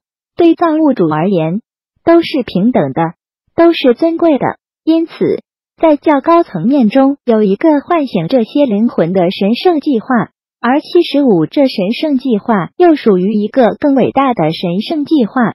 伯纳，光之子在宝瓶座时代如何展开他们的使命？蒂娜，许多光之子已经觉醒，也已经展开清理与进化所需的过程。并重新学习一些被遗忘的宇宙真理。他们因自身觉醒所展现的能量，将引发长久陷入在三度空间幻境中的灵魂也开始觉醒，并开始探索重获自由的模式。无论他们所经历的是什么，无论他们有着什么样的历史，当这些灵魂觉醒并转化之后，他们也能成为光之子。这便是光之子的使命。也是宝瓶座纪元神圣计划中的一部分，伯纳。所以在觉醒过程中所出现的种种矛盾与抗争，就是哈米吉多顿之战中的善恶对决嘛？蒂娜，是的，即使是光之子，由于长期受到地球物质层面上种种较低思想的影响，往往失去对较高意识的记忆而不自知。因此，哈米吉多顿之战可以说是与自己身心内外的善念与恶念之间的对决。伯纳，我想我们早已向光觉醒，并已展开清理与净化所需的过程。面对黑暗时，我们还是会有失败的时候吗？蒂娜，是的。目前我们刚进入宝瓶座纪元，并不是所有的光之子都已完全觉醒，因此黑暗的势能仍极其强大。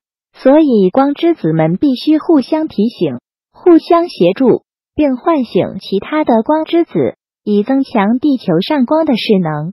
伯纳，没错，我自己还是常常被浮现在我心头的负面思想与意念所困扰。蒂娜，在目前这进展的阶段中，你能承认这一点就很不错了。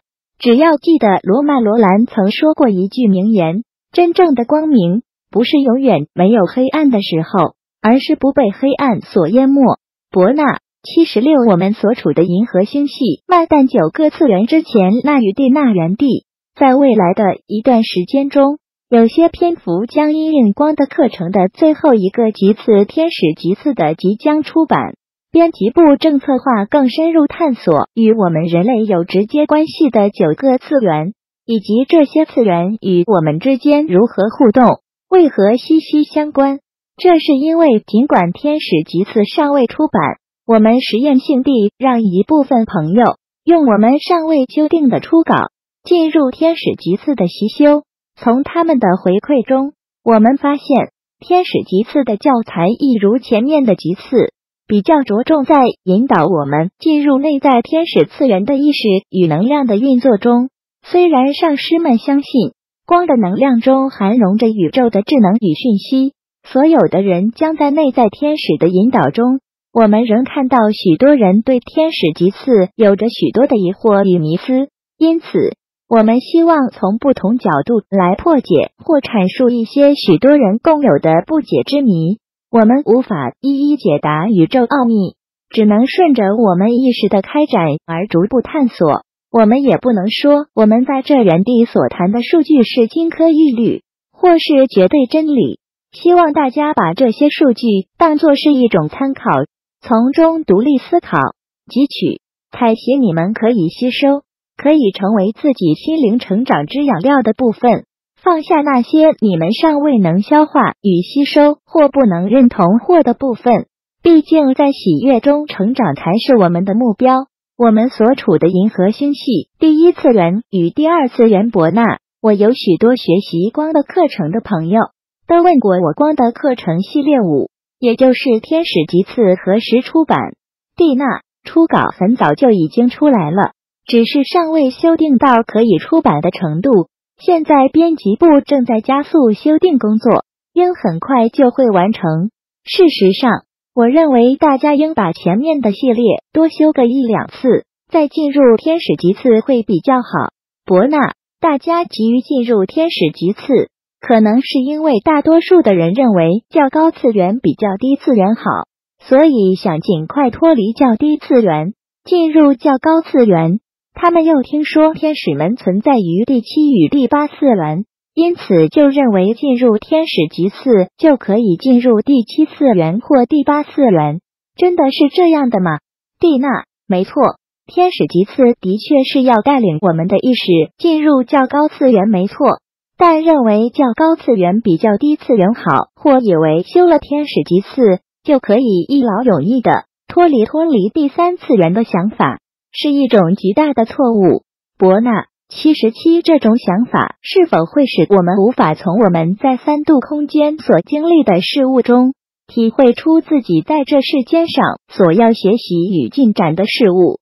蒂娜，没错，我们所置身的银河星系，也就是我们所处的这一银河星系的宇宙，是一个包含着十个次元的智慧体系，与我们相关的一切事物都在九个次元中相互交错的表达着。我们这个银河星系中的一切，因此我们自身便具备了九个次元中的一切元素、一切智能。伯纳，看来光的课程的设计就是要帮助我们重新恢复对九个次元的认知与应用。但上师们不与我们谈这些宇宙科学知识，也因此使很多人对行星级次及天使级次产生很多迷思与疑惑。蒂娜。我们说过，上师们要我们先清理、净化我们的四个较低体系，才能具有领悟较高次元的能力。而这只有踏实的在光的能量中运作才能完成。我们在智慧没有开之前，都会被许多事物所障碍。给我们讲再多的理论，也无法使我们理解这些宇宙科学知识。伯纳说的也是，光是系列一的初级教材。就令许多人感到它很庞大、很复杂，摸不着头绪，捉不到重点。这之中不乏学历很高的人呢。然而，能坚持下去的人都说，修到第二级次，再回头看第一级次时，就觉得非常清楚，即便是内容也很清楚。以此类推，只要继续往下面的级次走，再回头看前面的级次，便能有更清晰的领悟。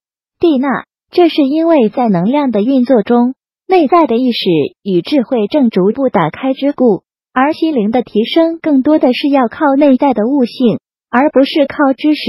伯纳，但对知识分子来说，还是希望了解宇宙的运作，只是以目前在学科界所发展的程度，不能满足我们内在对宇宙真知的渴望，因此我们会向玄学探索。我知道。你也在探索宇宙的各个次元，何不让我们也知道一些你对宇宙各次元的认知呢？蒂娜，好啦，但我所谈的只是一些我细胞记忆所能认同的事物，是我个人的认知。七十八，说不定它也唤起我的细胞记忆。我相信唤醒我细胞里对整个银河星系的记忆，将使我的心识更能与光共同运作。从而进入进展的新阶段。蒂娜，看来这几年在光中的运作，已使你达到进展的另一阶段，促使你探索自身内在的所有次元。在我们谈较高次元之前，我们还是需要从第一次元开始，一个次元一个次元的谈上去，否则一开始就谈那些高次元的事物，就像把梯子架在半空中，你还是攀不上去。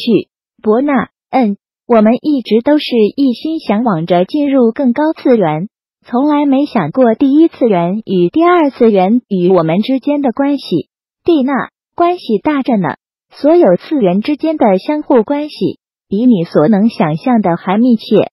除非我们完整的融合所有次元，不然我们的心识无法有真正的整合。我们将永远置身在二元性的事物中。伯纳，那么赶快告诉我，第一次元 （First Dimension） 是什么吧？蒂娜，第一次元是我们通往其他所有次元的基点。第一次元是地球的核心。它在地球诞生时便已具有智能系统 （Intelligence System）。它有一个被称之为中枢核心晶体 （Central Core Crystal） 的设置，具备一道由着核心晶体与我们银河星系中的其他九个次元沟通的光纤。它使万物和谐有序。它的地心引力使我们得以落实的生存在第三度空间。伯纳，Y，那第二次元是什么呢？Second dimension，蒂娜在第一次元之上，地壳表面之下的就是第二次元。地球上的一切元素的形成，都是起始于这一次元。伯纳一上师们在光的课程中的教导，让我们把身心上的杂质以黑色之光由脚底射入地心，是射入这一次元中咯？这样不是把这第二次元给污染了吗？蒂娜。七十九，我们所释放的一切负面事物进入第二次元，变成为冶炼成物质元素的原料。当地球进入宝瓶纪元时，便是进入光的纪元。在这光的纪元中，一切负面的事物必须让它回到第二次元中。在光的纪元中，地球吸收着极其巨大的光芒，因此这些负面元素不仅必须，也是极其乐意回到暗处。第二次元具有将它们成为冶炼，成为提供往后生存在第三次元的存在所需之物质的功能。伯纳这么说，我们在第三次元所用的这些丰富的资源，都是在第二次元中冶炼之后提供给我们的。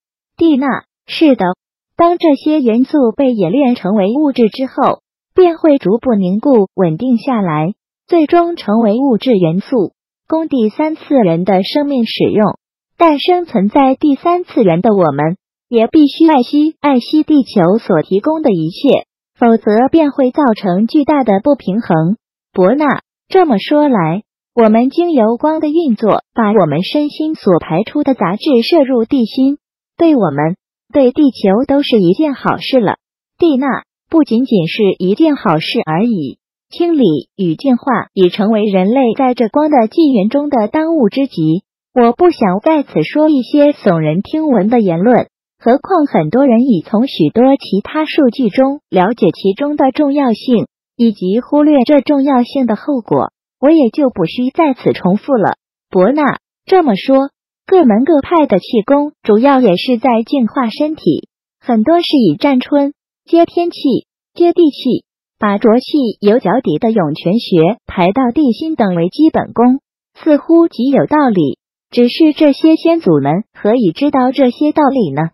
蒂娜，如我们前面所说的，人类自身的细胞意识便拥有对整个宇宙间的相互关系的记忆。有些人自然知道自己与各次元之间的关系，而创立各种连接的方式。较高次元的上师们也是为了让我们打开这种连接而设计这课程。但是，请注意，与其他次元连接是要我们与地球一起成长，一起进入光的纪元，并不是要我们厌恶地球上的一切事物，把它当成一个要尽快脱离的恐怖星球。伯纳八十，原来我们所生活的地球是这么丰富、美丽。我深爱着这美丽的球星的，我想我们的肉体生命所生活地方便是第三次元，这是我们精炼我们心灵意识的地方。只有与它和谐共处，我们的身体与灵魂才能获得滋养。蒂娜，关键在于我们必须先在第三次元中圆满一切，了结一切因果之后，才有可能进入下一进展阶段。伯纳。这时，我想起《智慧的河流》中有一篇描述一位流浪者要进入一座城府时，向守城人打听那是一个怎样的城府。守城人反问他来自怎样的城府。当那位流浪者说他的家乡是一个糟透了的烂地方时，守城人告诉他那个城府和他的家乡没两样。那位流浪者便掉头而去。过了些时候，当另一个要进城的人问同样的问题时，守城人也是一样的反他来自怎样的地方。他回答说是一个好可爱的地方，他是因工作关系而必须搬过来的。守城人告诉他说，他将发现这个城府也是一模一样。于是那人便高高兴兴的进城去了。蒂娜，是的，这故事不仅让我们理解积极思想的力量，他也阐述了如果我们不能在第三次元达到圆满，我们无法进入任何其他次元。因为我们的意识与能量使我们无法进入伯纳，或者说，无论我们怎么努力跳开，结果还是会在其他环境中陷入同样的情境。蒂娜，然而，你是否注意到，无论是你自己或周围的人，当心灵意识向更高的意识层面提升与转化时，外在环境便会自然而然的有所改变。伯纳，哈哈，现在。我对于习修光的课程有更多的了解了。我们所处的银河星系第三次元与第四次元伯纳，第三次元是我们所存在的空间。然而，这一空间似乎是包罗万象。我们能给它一个界定吗？蒂娜，蒂娜，八十一，它是一个存在于地球上一个线性的时间与空间，因为在这一度空间中的一切事物。皆与我们这一银河星系中所有其他次元不断的互动着，因此这一次元的种种，在我们谈论其他次元时，自然会从不同角度来谈论它。伯纳，那么第四次元是一个怎样的次元呢？蒂娜，第四次元是一个非物质体的次元，其意识的运作仍然是二元性的，与第三次元的互动最为紧密。第三次元中许多物质显象的原型是在这一次元中开始成型的。伯纳，这怎么说？蒂娜，由地球所散发出的感觉、梦想、梦境，由各个星球、各较高次元所放射的思想、智慧，都会聚在这次元中，并在这第四次元中形成各种思想、行为模式。第三次元的人类受这些意识与能量的驱动。而进行各种活动，伯纳，那我们不是成为第四次元的傀儡了吗？蒂娜，如果我们没有向内在较高自信觉醒，便无法理解我们与其他次元之间的运作机制，也无法随时保持在光的觉知中。那么，我们确实是很可能受到一些无形的思想情绪所牵动而不自知。伯纳，这么说来。我们好像被第四次元的天罗地网给罩住，真是太可怕了。除了一步一步的在光的课程中向较高自信觉醒之外，还有其他可以了解自己受到什么样的来自其他次元或星球之能量的影响吗？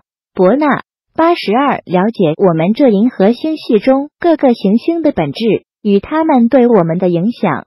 多少可以理解我们在第三次元中所经验的一些情绪感受。伯纳，感受有那么重要吗？我从小所学的是要压抑自己的情绪感受，这样才是好孩子。蒂娜，你没发现你现在正不惜毁灭自己的过去形象，并以各种方式来发泄吗？情绪感受的力量是超乎我们所能想象的。这种无形之波的振幅贯穿在整个宇宙的九个次元中，而每个次元也都与它的振幅产生互动。情绪感受可以制造许多令人抵挡不住的诱惑力量，它可以使你沉迷在邪恶的创造中，也可以丰富你的心灵，让你在光的次元中飞舞翱翔。伯纳，其实我已知道治愈自己的重要性，所以我会持续的走在光中。你说了解我们这银河星系中各个行星的本质与他们对我们的影响，多少可以理解我们在第三次元中所经验的一些情绪感受？难道说我还得去研究占星术吗？蒂娜，研究星象并不表示要成为江湖术士，那是另一回事。星象学使你了解，在物换星移的宇宙中，人是如何的在不自觉中受着无形力量的影响，使你了解自己在什么样的情绪感受中。透过自我的观察及对星际影响的了解，你便能看到自己应如何转化对事物的观点，从而改变由自己情绪。感受所创造的生命，伯纳。事实上，在光的课程的学习中，我已逐渐的比较清楚自己的思想意识或情绪感受，只是常常一不小心就糊里糊涂地被旧有模式占上主导地位，在冥冥中被一股无法抗拒的业力牵动着。蒂娜，功力是要循序渐进增长的，质的改变来自量的累积。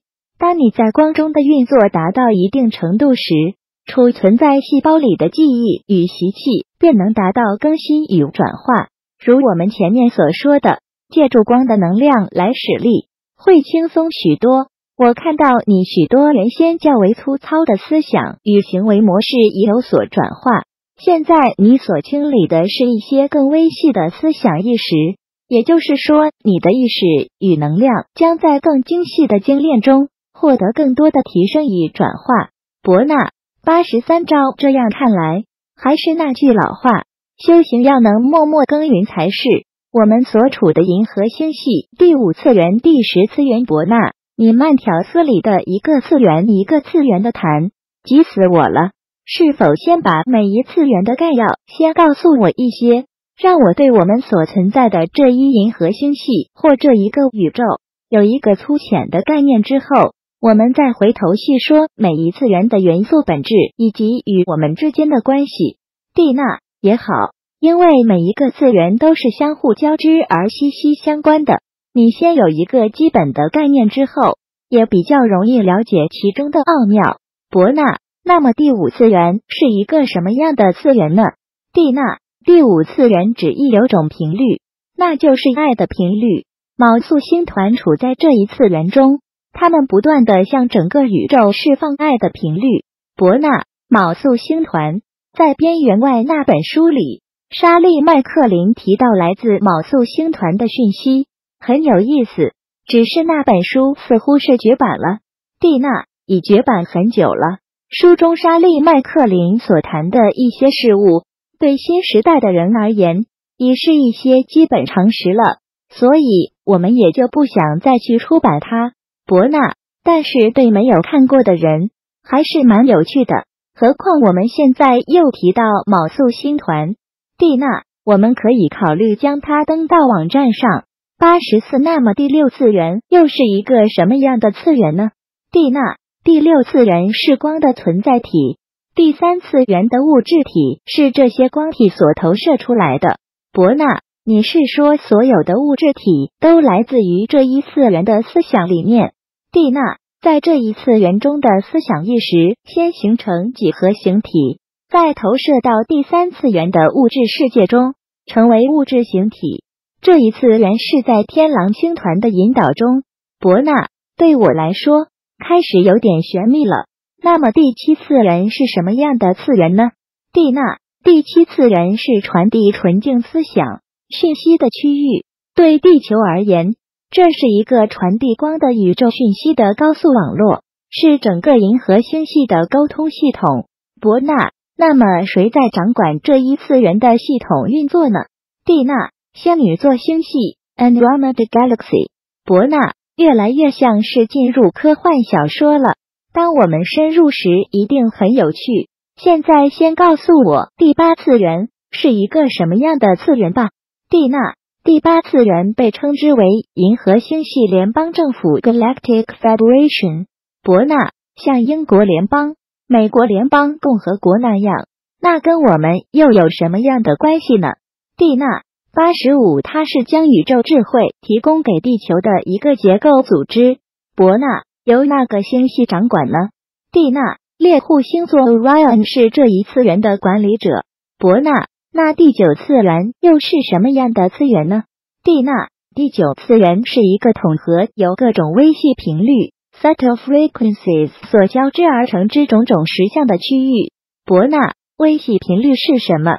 蒂娜，是指非物质体的频率，因为它的频率没有物质体那么稠密，那么沉重，所以说它是微细频率。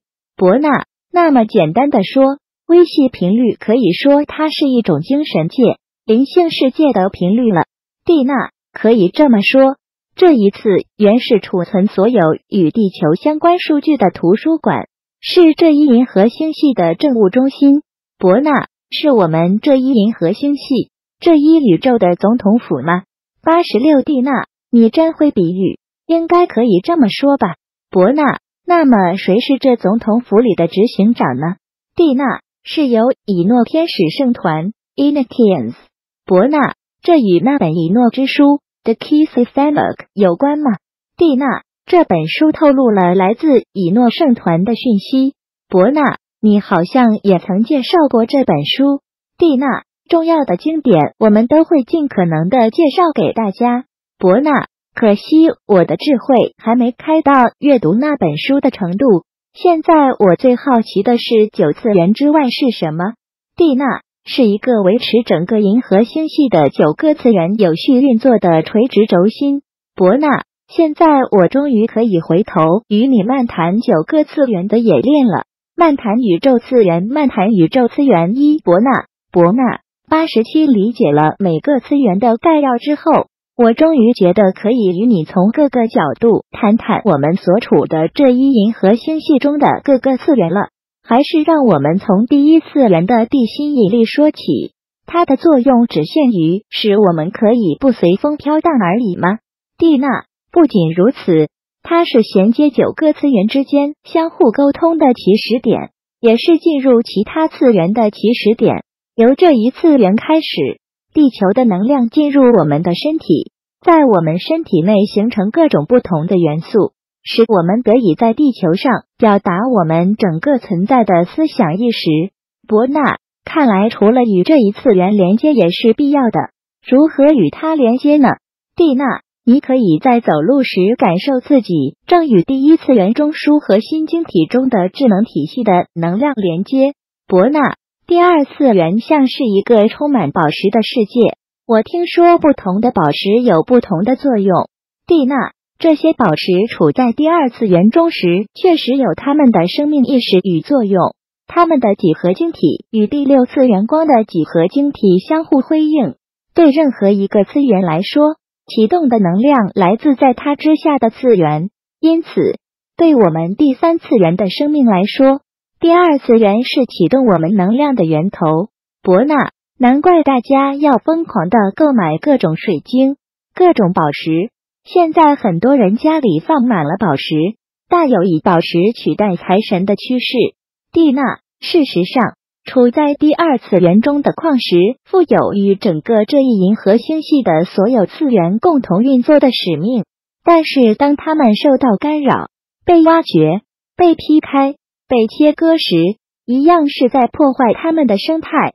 同时，离开了它们的根，它们就像被剪下来的花、被砍下来的树一样了。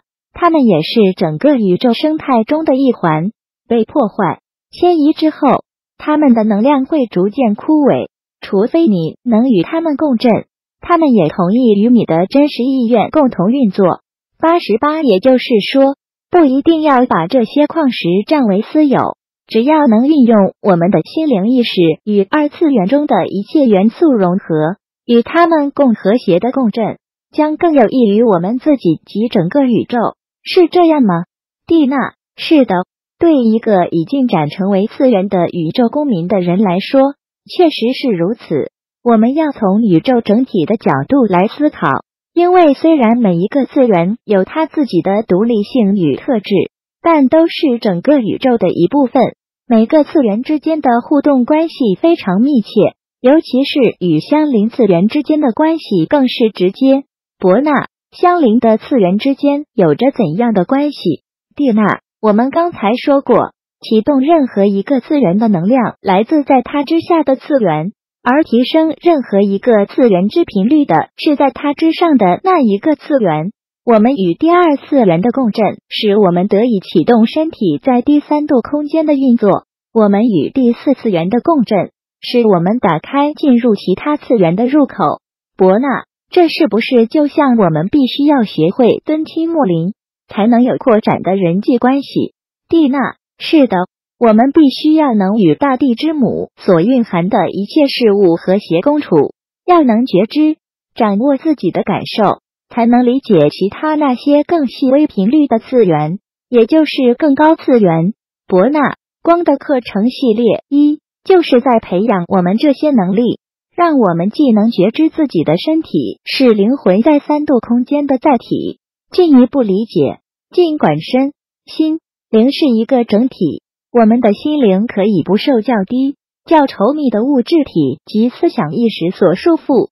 蒂娜，一旦你能在有一具身体的物质层面上达到心灵的自由，你便能创造你所要的实相。创造是我们在第三次元所要学习的事项之一。要达到这点，你必须要尊重第一与第二次元的力量，也就是尊重大地之母的巨大力量，与这二个次元和谐共生。伯纳，嗯，我已看到对大地予取予求，在他的土地上残害生命、破坏生态，为人类所带来的各八十九种灾难。问题是在三度空间的人类要如何自处？蒂娜，我们在这一次元需要学习、体验与领悟许多事物。简单的说，我们需要开启较高的智慧。我们刚才谈到，提升任何一个次元之频率的是在它之上的那一个次元。伯纳，也就是我们与第四次元的共振，会使我们打开进入其他次元的入口。蒂娜。透过第四次元，你可以感受到来自其他次元的智慧。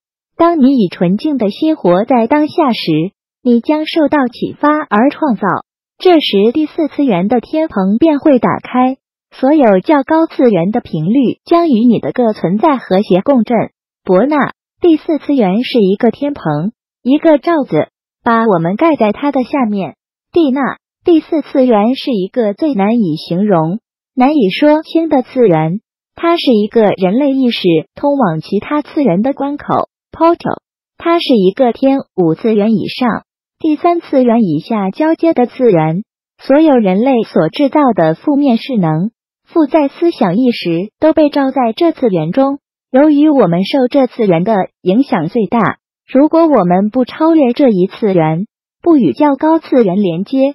我们便一直在群体负面意识的影响中反复辗转，伯纳。因此，五度空间的存在们为了帮助我们打开这一天棚盖而设计了光的课程吗？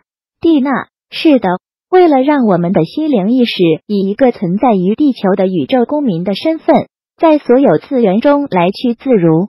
伯纳，我想不会有人以为修了天使级次，自己的身体就可以成为天使体。在天上飞来飞去吧，蒂娜。虽然我们不会像传说中的八仙那样直接以身体漂洋过海那样，但你不觉得你的意识阔博纳九十展之后，你的工作不仅顿时柳暗花明、豁然开朗，你的生活也从井底蛙的范畴扩展到世界性的格局了吗？伯纳，确实是如此。过些时候，我将在地球的另一角落与大家一起继续探讨各个次元的演练，漫谈宇宙次元。二伯纳，既然所有的次元都与我们的内在相互辉映，那么第五次元是如何与我们对应与互动呢？蒂娜，这一次元对应的是我们的心 （heart）。如果我们随时在光中觉知自己各个体系对一切事物的反应。第五次元中爱的能量自然源源不断的注入在我们的体系中，使我们有充沛的精力把爱提供给我们的世界。伯纳，那么这世界变成为爱的世界，好像过于乌托邦了吧？蒂娜，宇宙所设置的蓝图是这样的样本，而我相信在宇宙中确实有这样的世界。三千年前，佛陀便在各种经典中阐述这些世界。只是人类没有遵照这样本，没有依自身灵魂完美的蓝图去创造，而依小我所涂改的剧本去制造荒诞不经的泡沫剧，所以我们才会反过来把一些乌七八糟的现象当成真实世界，把宇宙中其他那些完美的世界当成子虚乌有的世界。伯纳，看来是我们这些不相信有理想世界的人，使我们的地球无法进展，真是惭愧。这么说来，在光的课程中，上师们一再引导我们观想一切事物都在光的完美中，是有道理的。蒂娜，是的，保持在光中的视野是很重要的。如果你的心是真挚地热爱地球，热爱宇宙生命。你的心灵确实完全的沉浸在那庄严、神圣、完美的空间里，你就是在一种明心见性的状态中。因为庄严、神圣、完美的五度空间是我们这一宇宙所有次元的中心点，是通往所有次元的中途岛。伯纳九幺女士说：“只要我们的身心保持在安详与觉知中，落实地安住在当下的时刻中，与地球的中心点连接。”五度空间的能量便会透过四度空间注入我们，而这股能量又将我们提升到与其他的次元融合的状态中。蒂娜，我们越是能在落实地球层面的同时，以敞开的心灵向较高次元的智慧与能量打开，较高次元的精细频率便越能与我们融合。伯纳上次谈到在第六次元中。一些思想意识会先形成几何形体，再投射到第三次元的物质世界中，成为物质显象。这些概念让我觉得很玄，因为我无法理解它的运作方式。蒂娜，我们心识里的一切思想意念，先在第六次元中形成几何体的基层。当你对某种理想具有崇高的憧憬与渴望时，它的频率便开始震动。产生创造的能量，使这些事物同时在三度空间具体显现。伯纳，为何是几何体？蒂娜，几何体是一切事物的母体 matrix。它的原理在古埃及的文明中有一些记载。大约在公元前六千年，天狼星团的存在们曾降临地球，在现在的埃及那伊地带建立了庄严宏伟的庙宇与城市。启动了尼罗河漩涡的力量，他们也在爱琴海一带建立启动能量的建筑结构。伯纳，他们所建立的庙宇是什么教派呢？蒂娜，他们并未成立宗教，宗教是建立在人类思想意识与行为上的事物。相对于卯宿星团的工作是开启人类的心轮，天狼星团的工作是开发人类的脑意识，促进人脑有更高的进展。天狼星团的存在们降临地球后，在庙宇中所教导的是一些有关宇宙原理、宇宙法则的知识。几何原理是当时进入庙宇的学生们要入门成为祭司之前必须学习的一门课程，可见它是很重要的一环。伯纳九十二在光的课程中，上师们也教我们用光的金字塔的几何架构来运作。我一直不知道为什么要这样做。我们能找到有关资料吗，蒂娜？我看过一些相关数据，仅能粗略的明白一些大概。现在我们也一时无法谈到那么深。如果你有兴趣，也觉得自己可以消化与吸收这些神秘事物，等我们以后有机会时，再针对这一点来探讨。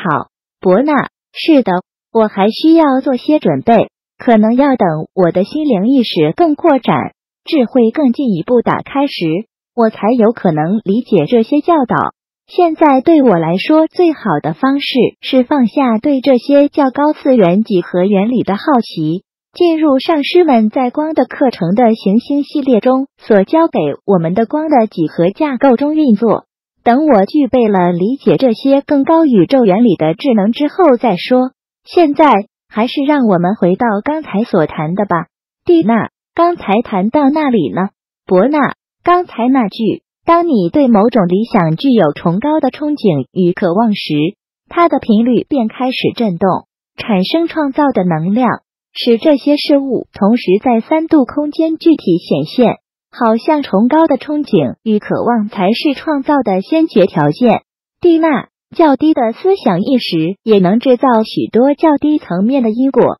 较低思想意识的频率只能存在于四度空间以下，在三度空间里显象，因此那些不属于较高次元的思想意识，只是人类在梦境中的幻象。所以，较高次元无法与较低次元中自我的欲望共同创造。伯纳，那么什么是较高次元所能共同创造的呢？蒂娜，创造指的是有益于人类、建设性的，使人类从束缚中解脱。可以提升人类心灵与社会进展的活动，要在权力斗争中满足较低自我需求的行为，则属人类较低自我的制造。九十三要在这高度竞争的社会形态达到真正的创造，实在太难了，因为社会鼓励竞争。蒂娜，如果你相信自己独领风骚才是赢，别人则不是友便是敌，你必然会陷入在激烈的竞争中。我看到的是社会上许多人提倡双赢、共生、团队精神。我相信最终是具有这些理念、真正在努力实践的人能实现完美的创造。伯纳，看来我还没有完全清除残留在我脑海中的负面影像。蒂娜，我们常常在不自觉中盲目的跟着群众思想意识漂流，或是被旧有模式牵着走。伯纳。我仍得加油，继续培养自己的觉知力了。上次谈到第七次元是传递纯净思想与讯息的区域，对地球而言，这是一个传递光的宇宙讯息的高速网络，是整个银河星系的沟通系统。我有点似懂非懂。蒂娜，第七次元的功能是帮助我们这银河整个宇宙星系灵性的提升与进展。它是一个光的高速网络。具有传送整个银河星系信息的功能。光的讯息经由脉动，由这高速网络传递到各个星球上。那些处在光带 （photon bands） 中的星球，便螺旋式的将这些讯息的发送给邻近的处在银河黑夜期 （galactic night） 的星球。伯纳，你是说所有的星球因为是在轨道中运行之故，也像地球一样有进入白昼的时候？也有进入黑夜的时候，蒂娜是的，只是银河轨道是巨大的，在银河星系中运行，以地球的时间来算，非常非常的长，而且是夜长昼短，黑夜期多于白昼期。当它进入黑夜期时，可谓是漫漫长夜。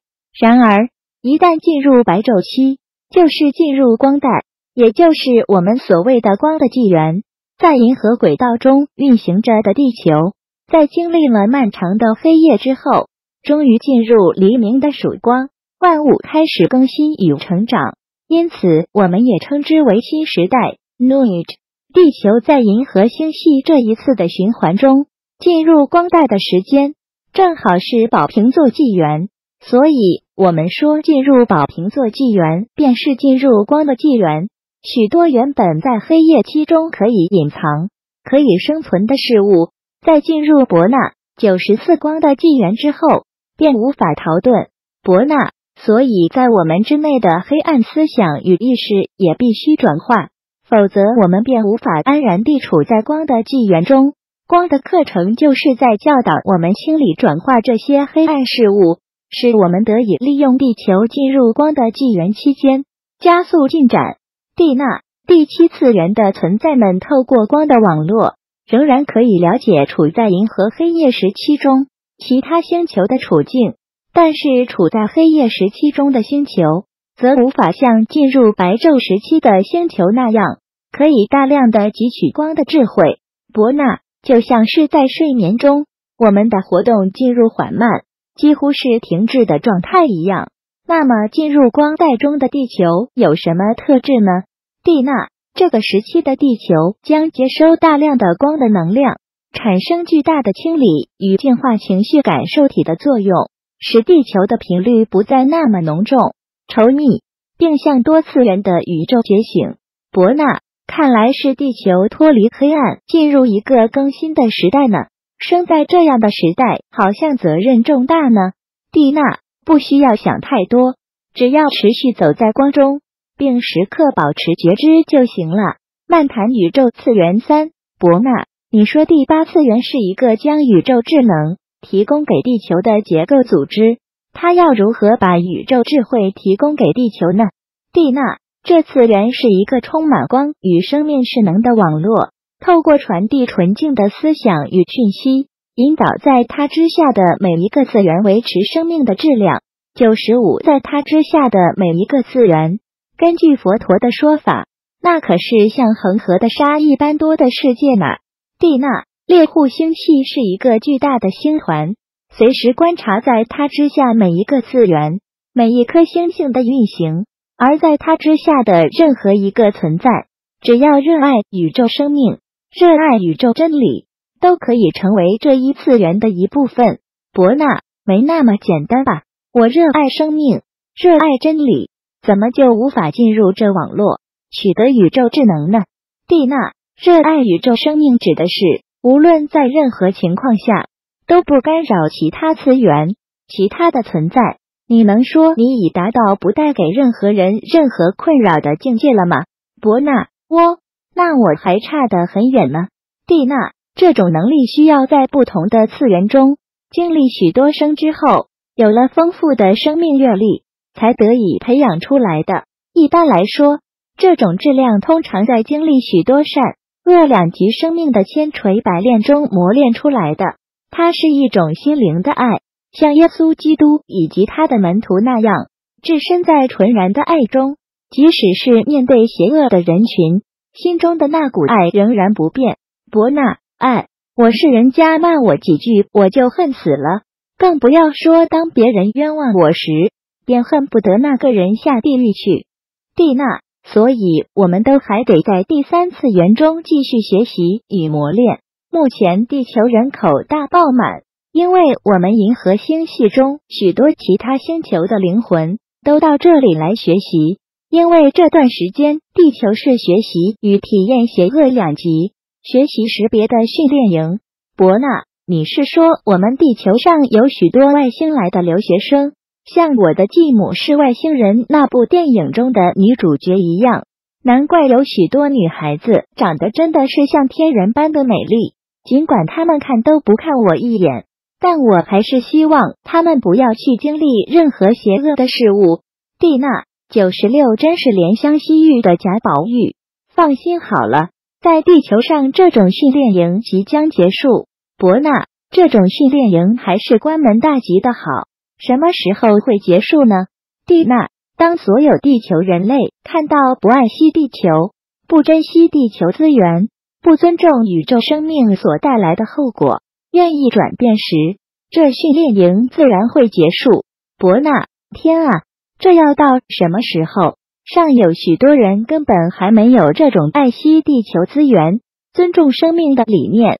蒂娜，一沙一世界，共业中有别业。如果你选择与贪婪、憎恨的人同流合污，你的体验将会是世界末日或圣经启示录所描述的世界。然而。如果你自身先做到这点，你就会生活在一个提升的、较高灵性的世界，伯纳。但我希望我的家人、朋友、周围的人都能生活在一个提升的、美好的世界中。蒂娜，那就送光给他们，让较高次元的讯息引导他们。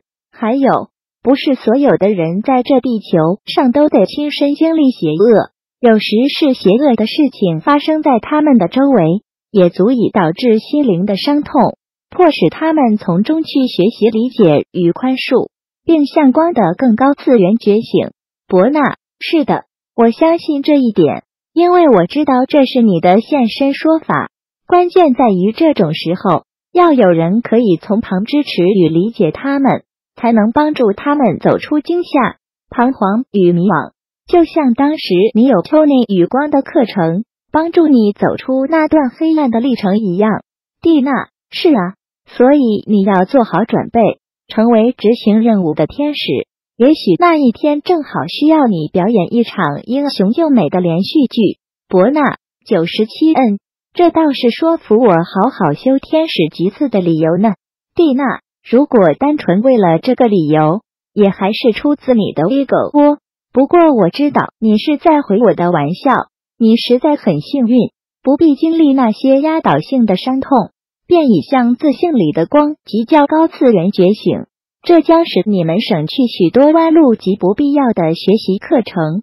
伯纳说到向较高次元觉醒，你说第九次元是一个统合由各种微细频率 （set of frequencies） 所交织而成之种种实相的区域，是这一银河星系的政务中心。那为什么不管管我们这个纷争多多的星球呢？蒂娜，地球是一个被赋予自由意志的实验室，而地球做了在两极中学习，以及要经历体验所有次元的选择。每个灵魂都可以选择停留在四度空间以下的剧场中，或选择回归较高次元。因此，他们不会干预我们的选择。伯纳，这样的话。第九次元好像就与我们没有太大的关系了。蒂娜，不要忘了，每个次元都与我们息息相关。第九次元以永恒三摩地 （Samid） 的定境，与来到这次元的存在们分享在这种境界中的感受。它所散发的能量之波是一种核能般的巨大力量，支撑着第八次元光的网络的运作。伯纳，我想起来了。根据来自卯宿星团的数据显示，耶稣来自这一次元，他的诞生使较高次元的能量，以及基督意识得以穿越第四次元的天棚进入地球。这表示他们还是非常关爱地球的生命与进展，只是他们以教导来带领我们，而不是以管束来干扰们。这是真正的爱与尊重。蒂娜，是的。因为地球选择经历所有的次元，因此人类自身便具备了九个次元的智慧。然而，当地球处于宇宙黑夜期的时候，完全失去这种觉知，因此他选择在双鱼座时代降生地球，唤醒人们内在的基督自信，为人类进入宝瓶座纪元，也就是光的纪元做准备。伯纳。九十八，可以谈谈为什么进入光的纪元要做一些特别的准备吗？蒂娜，因为在宇宙轨道中运行的地球，在这一循环中走到宝瓶座纪元时，便进入光带 （photon band）。而地球是如何在宇宙黑夜期与光带之间运行？这光带所带给地球的影响是什么？以及为什么地球及地球人类要在这束光中做好准备？等种种的问题，则又是另一个宇宙科学的探讨领域。我不知道我们是否都做好进入这种探索的准备。伯纳，我得承认，在这一连串的宇宙次元的探讨中，有许多地方我确实是似懂非懂。但对我来说，还是比坐在那儿看一些把我们当呆瓜的新闻媒体的报道、无聊的电视节目或电影好一些。何况在我们反复的探讨中，有时候我们回头从不同的角度去谈时，我常常会有恍然大悟的喜悦。蒂娜，是的，有些新闻媒体的报道、电视节目或电影，常常让我感到人类的心智与人格被耍弄、被贬低的沮丧。但这是社会大多数人所要的，他们才得以如此猖狂。好在我们还是可以看到一些。宣扬社会光明面的节目，否则连我都不会相信我们真的处在新纪元的曙光中。伯纳，我知道有一位在美国办儿童教育的老师，要求他的学生家长不要让孩子们学期中看电视。不知他是出于什么样的观点。蒂娜，有一段来自卯素星的讯息说，许多电视节目不仅降低人的智慧，也损害人的免疫系统。你越是允许某些团体为了他们自身的利益，利用电视或新闻媒体操弄你的思想，或因他们耸人听闻、煽动性的言论而感到愤怒或恐惧，你就越是会感到受到伤害、无力与无助。伯纳，我觉得最大的致命伤是，一旦被吸引，不但自己的思想感觉被牵着走，许多该做的事也不想去做了。蒂娜。那么就让我们关掉电视，继续向多次元的宇宙探索吧。蒂娜九十九漫谈宇宙次元四伯纳，有人向我提出一个问题，说既然我们的自信是完整的，为什么还要清理与净化？他的意思是我们不需要经由光的课程来提升与转化，因为我们本来就是完美的。蒂娜，我们灵魂的初始状态是清净完美的，这一点是没错。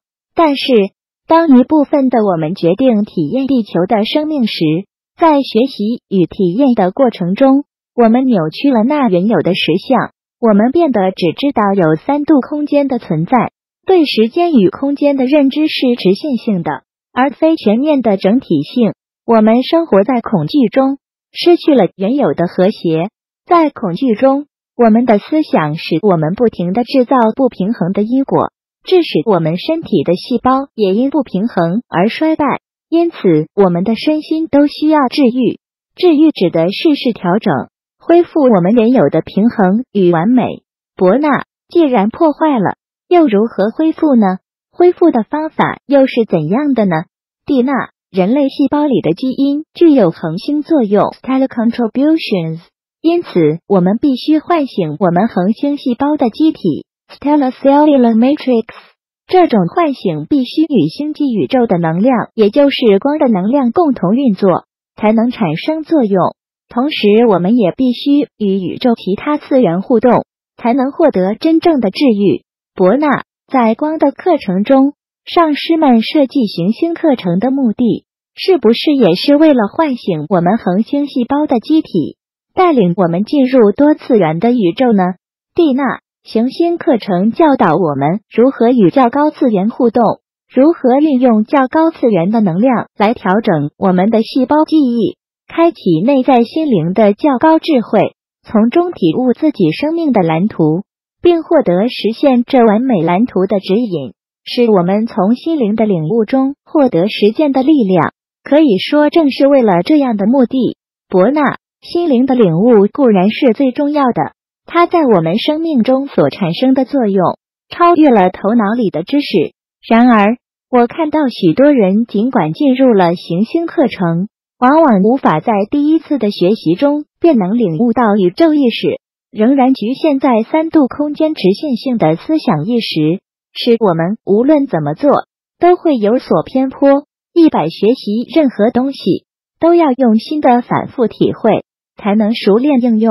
有人因一时未能领悟而不再向前迈进，但也有很多人随着内在心灵的呼唤，反复习修。以信心与希望继续走下去，终于在身心上获得调整，在生活上达到自由与喜悦。伯纳，我觉得修光的课程却未能进入行星课程，确实有入宝山而空归的感觉。因为如果不进入宇宙意识，我们的思想与心胸便无法扩展，使自己的生命也陷入在停滞的状态中。蒂娜，进入千禧年之后。地球进入光子带 （photon band），势必展开明显的两极分化。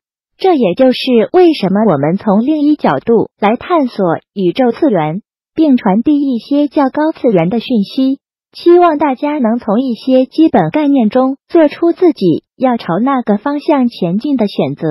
伯纳，我们要在什么样的两极中做选择呢？蒂娜，一是选择清理。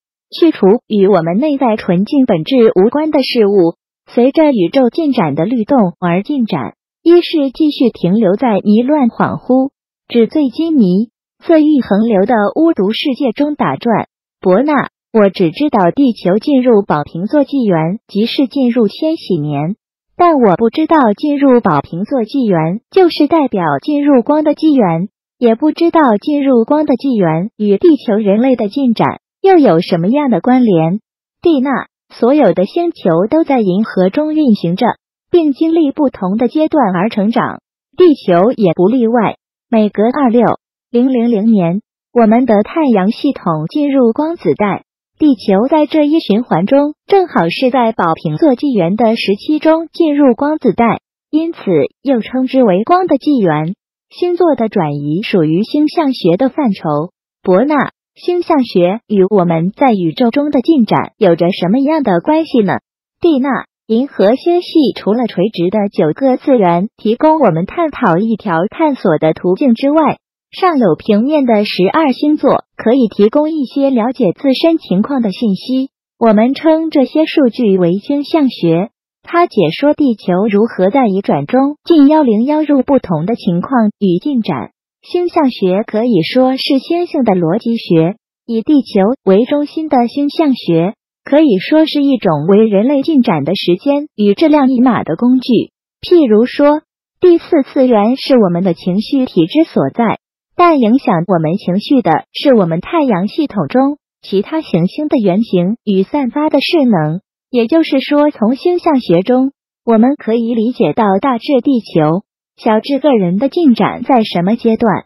伯纳这样看来，学习星象学是一门很深的学问，它不应只停留在用来给自己或帮别人算个命的占星术而已。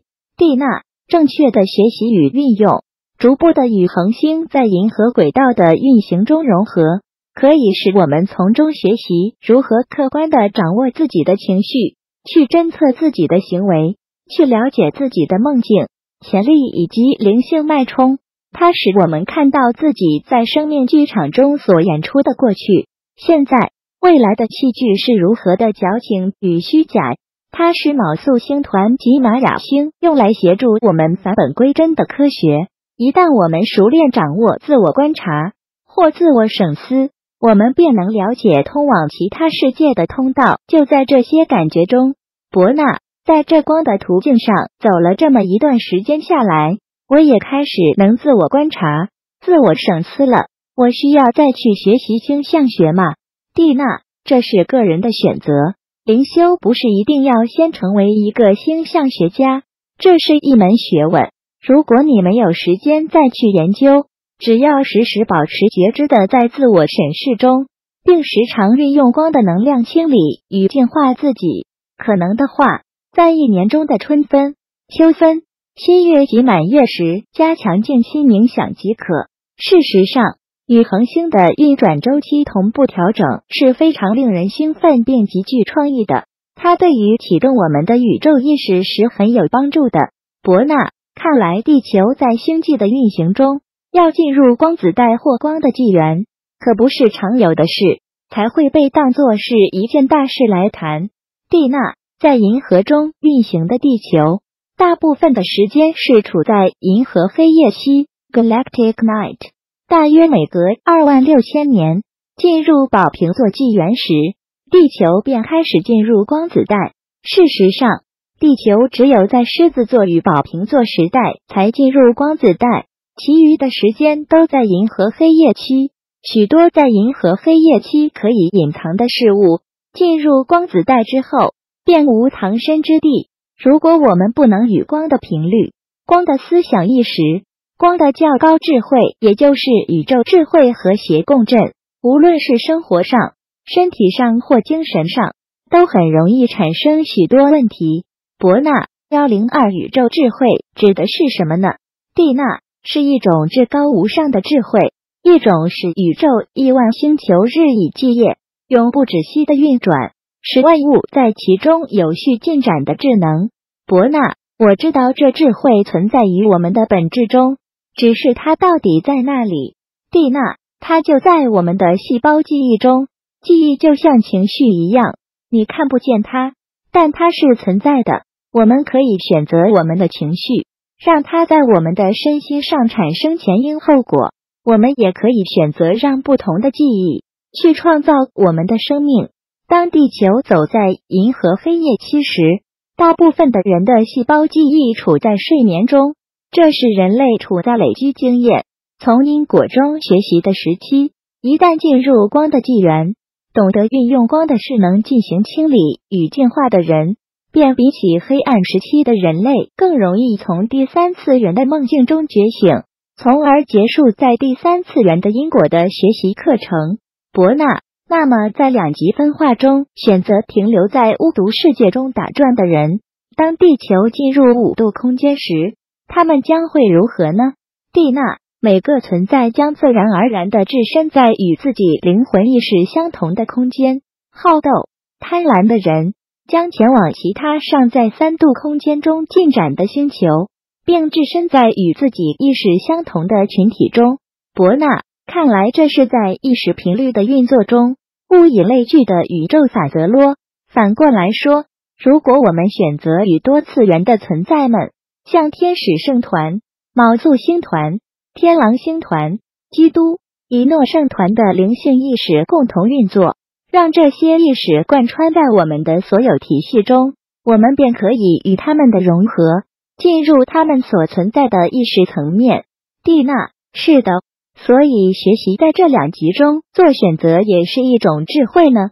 漫谈宇宙次元五伯纳幺零三上回，我们谈到光子带，我很好奇地球是何时进入光子带的。蒂娜，地球是在一九八七年春分时期三月十六二十三进入光子带，并稳定的每年逐步进入。许多其他的行星已进入光子带。地球的整个轨道将在二零一二年冬至全面进入光子带。二零一二年开始，银河星系的频率将散布在整个银河中。地球上任何具有智慧的生命都可以与这银河星系的频率共振。九个次元中的每一个次元都开始与光子带融合。那些无法与银河星系的频率共振的，将无法在光子带中维持形体。伯纳。二零一二年，那不是玛雅历法结束的一年吗？我还以为玛雅人指的是地球将在那时候被毁灭呢。蒂娜，当地球与玛雅星一起进入光子带时，将在卯宿星团与天狼星团之间形成一种联盟。这种联盟将创造种种新的可能性。玛雅历只计算到二零一二年，表示那一年是一个时代的结束。那以后是一个新循环的开始。伯纳，顾名思义，光子带 （photon band） 指的是充满了光量子 （photon） 的地带。光量子是一种微波放射。从微波炉的原理来说，当我们全面进入光子带时，我们不是要被光量子的微波所烹煮了吗？蒂娜，卯宿星团告诉我们一个令人讶异的事：他们说太阳具有调整光量子的功能。他们说，地球上一些臭氧层被破坏，虽然有一定程度的影响，但更大的原因是因为受到光量子的改变所致。这样可以让太阳能量从南北极唤醒二 D，也就是第二次元的磁场。伯纳卯宿星团也在光子带中吗？蒂娜，他们说幺零四零零零年之前，在银河的运行中。他们经历过我们现在所处的加速进展的状态，所以他们现在以老大姐的身份来教导我们许多事，引导我们为进入第五次元做准备。伯纳，伯纳，幺零四，那他们用宇宙飞船把我们带走不就好了吗？蒂娜，他们不能以揠苗助长的方式把我们从地球上抽离，因为除非我们自己做好准备。否则，我们无法在其他次元的频率中生存。事实上，卯宿星团曾犯下一个错误，就是在幺三零零零前干预人类的自由意志。那是在上一个周期时，因磁极改变之故，导致了冰河期。卯宿星团的存在们感受到人类痛苦与死亡的的挣扎，由同情产生怜悯。但事实是，当改变剧烈进行时，正是人类转化恐惧的时候，那时卯宿星团不理解这是一种平衡的过程，因为这种事不曾在卯宿星团中发生过。由于无知，他们除了带领一些人到安全地带之外，还把一些人提出地球。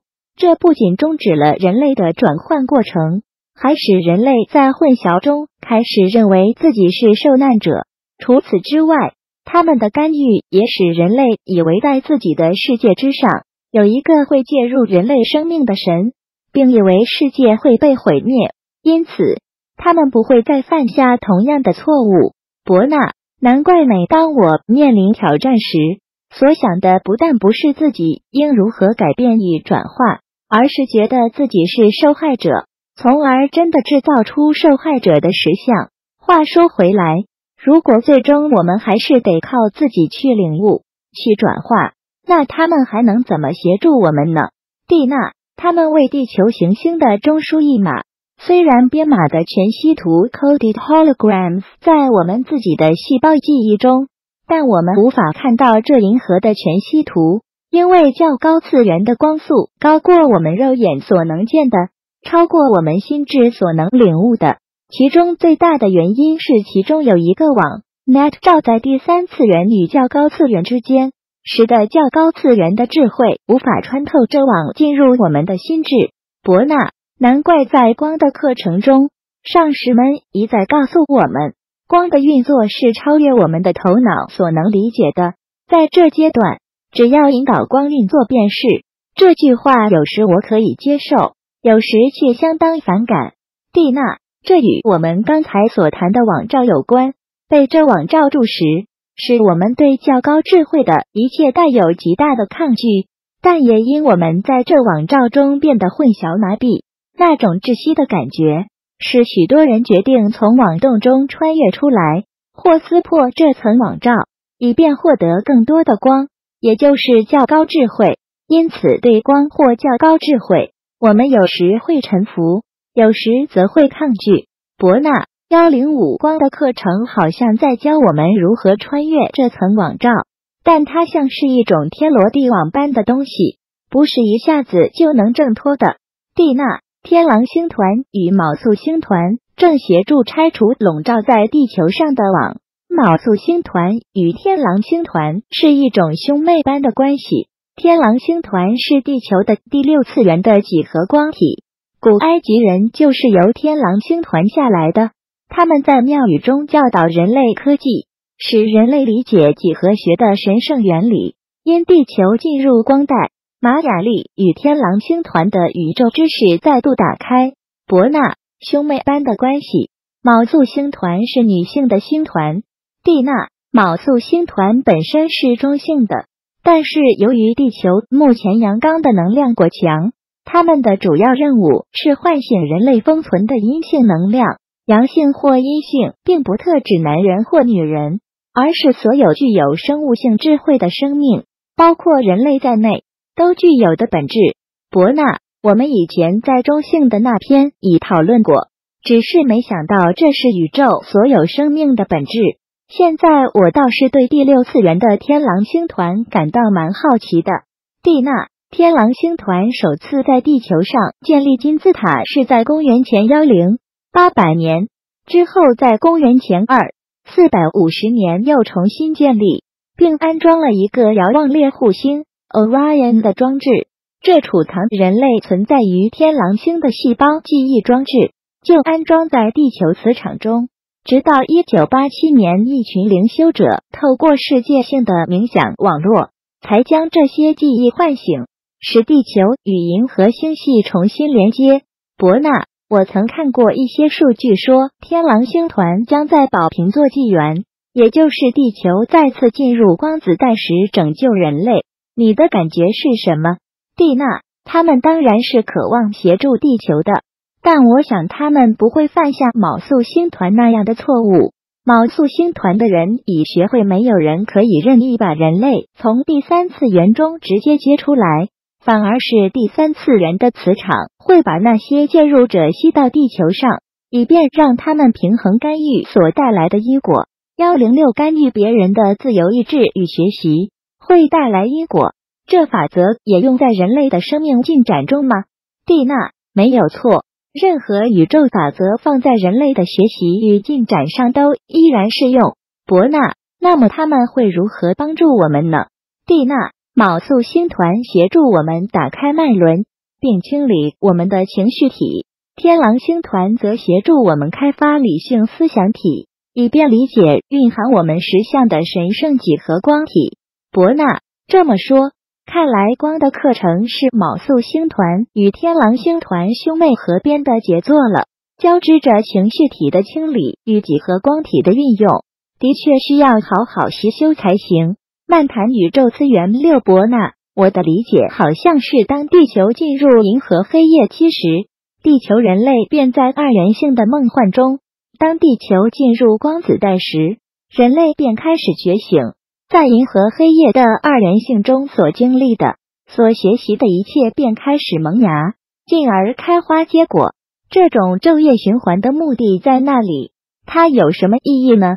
蒂娜，因为地球被选择成为发展生物的实验室，有我们自己以及各次元的智慧，在地球上进行实验是必要的。因为这样，大家才能理解银河星系的宇宙法则及生物法则。伯纳，为什么在整个银河星系中，地球会被选择成为实验室呢？蒂娜，为了使生物性的智慧存在体现完美，造物主决定选出一个星球作为实验室，掌管地球的智慧女神盖亚，具有我们无法想象的智慧与力量。因此，当地球的物质生命被创造时，便在人类这特定的物质体中注入同时拥有九个次元智慧的潜能。伯纳幺零七是的，许多人已觉知到盖亚的存在。从他能在银河星系中被选出来，成为这生物实验室的首席科学家，可以想象它的威力。蒂娜造物主决定在实验室中可以创造任何事物。但是由盖亚来决定是否接纳这些创造，任何他所拒绝接受的创造，他便将它从表层清理掉。伯纳，我想这就是为什么他摧毁亚特兰提斯的实验室了。现在人类又回到近似亚特兰提斯时期的状态，他要再次摧毁我们吗？蒂娜，现在有一部分的人确实还在重复亚特兰提时代的黑魔术。但与那时代不同的是，许多灵魂认清了在那时代所犯下的错误，在这时代返回地球，尽其所能的提升与平衡地球的磁场。其他次元的存在们也尽力在协助我们，伯纳。所以地球将是安全的了。蒂娜，当地球再次进入光子带时，地球将成为多次元的星球。这时，它的生物圈将决定把什么样的生命形态散布到我们这一银河星系的那一个地方。伯纳，天啊，那我会被散布到那里去呢？蒂娜，散布的原则是基于留在这生物圈中的生命是否受到启迪，是否达到光明的心性。那些无法快速迈向光的存在，就会离开身体，无法存留在这生物圈中。因为你无法在半睡不醒的状态中活在光子带中，伯纳。好在我修了光的课程，我会习惯性地迈向光。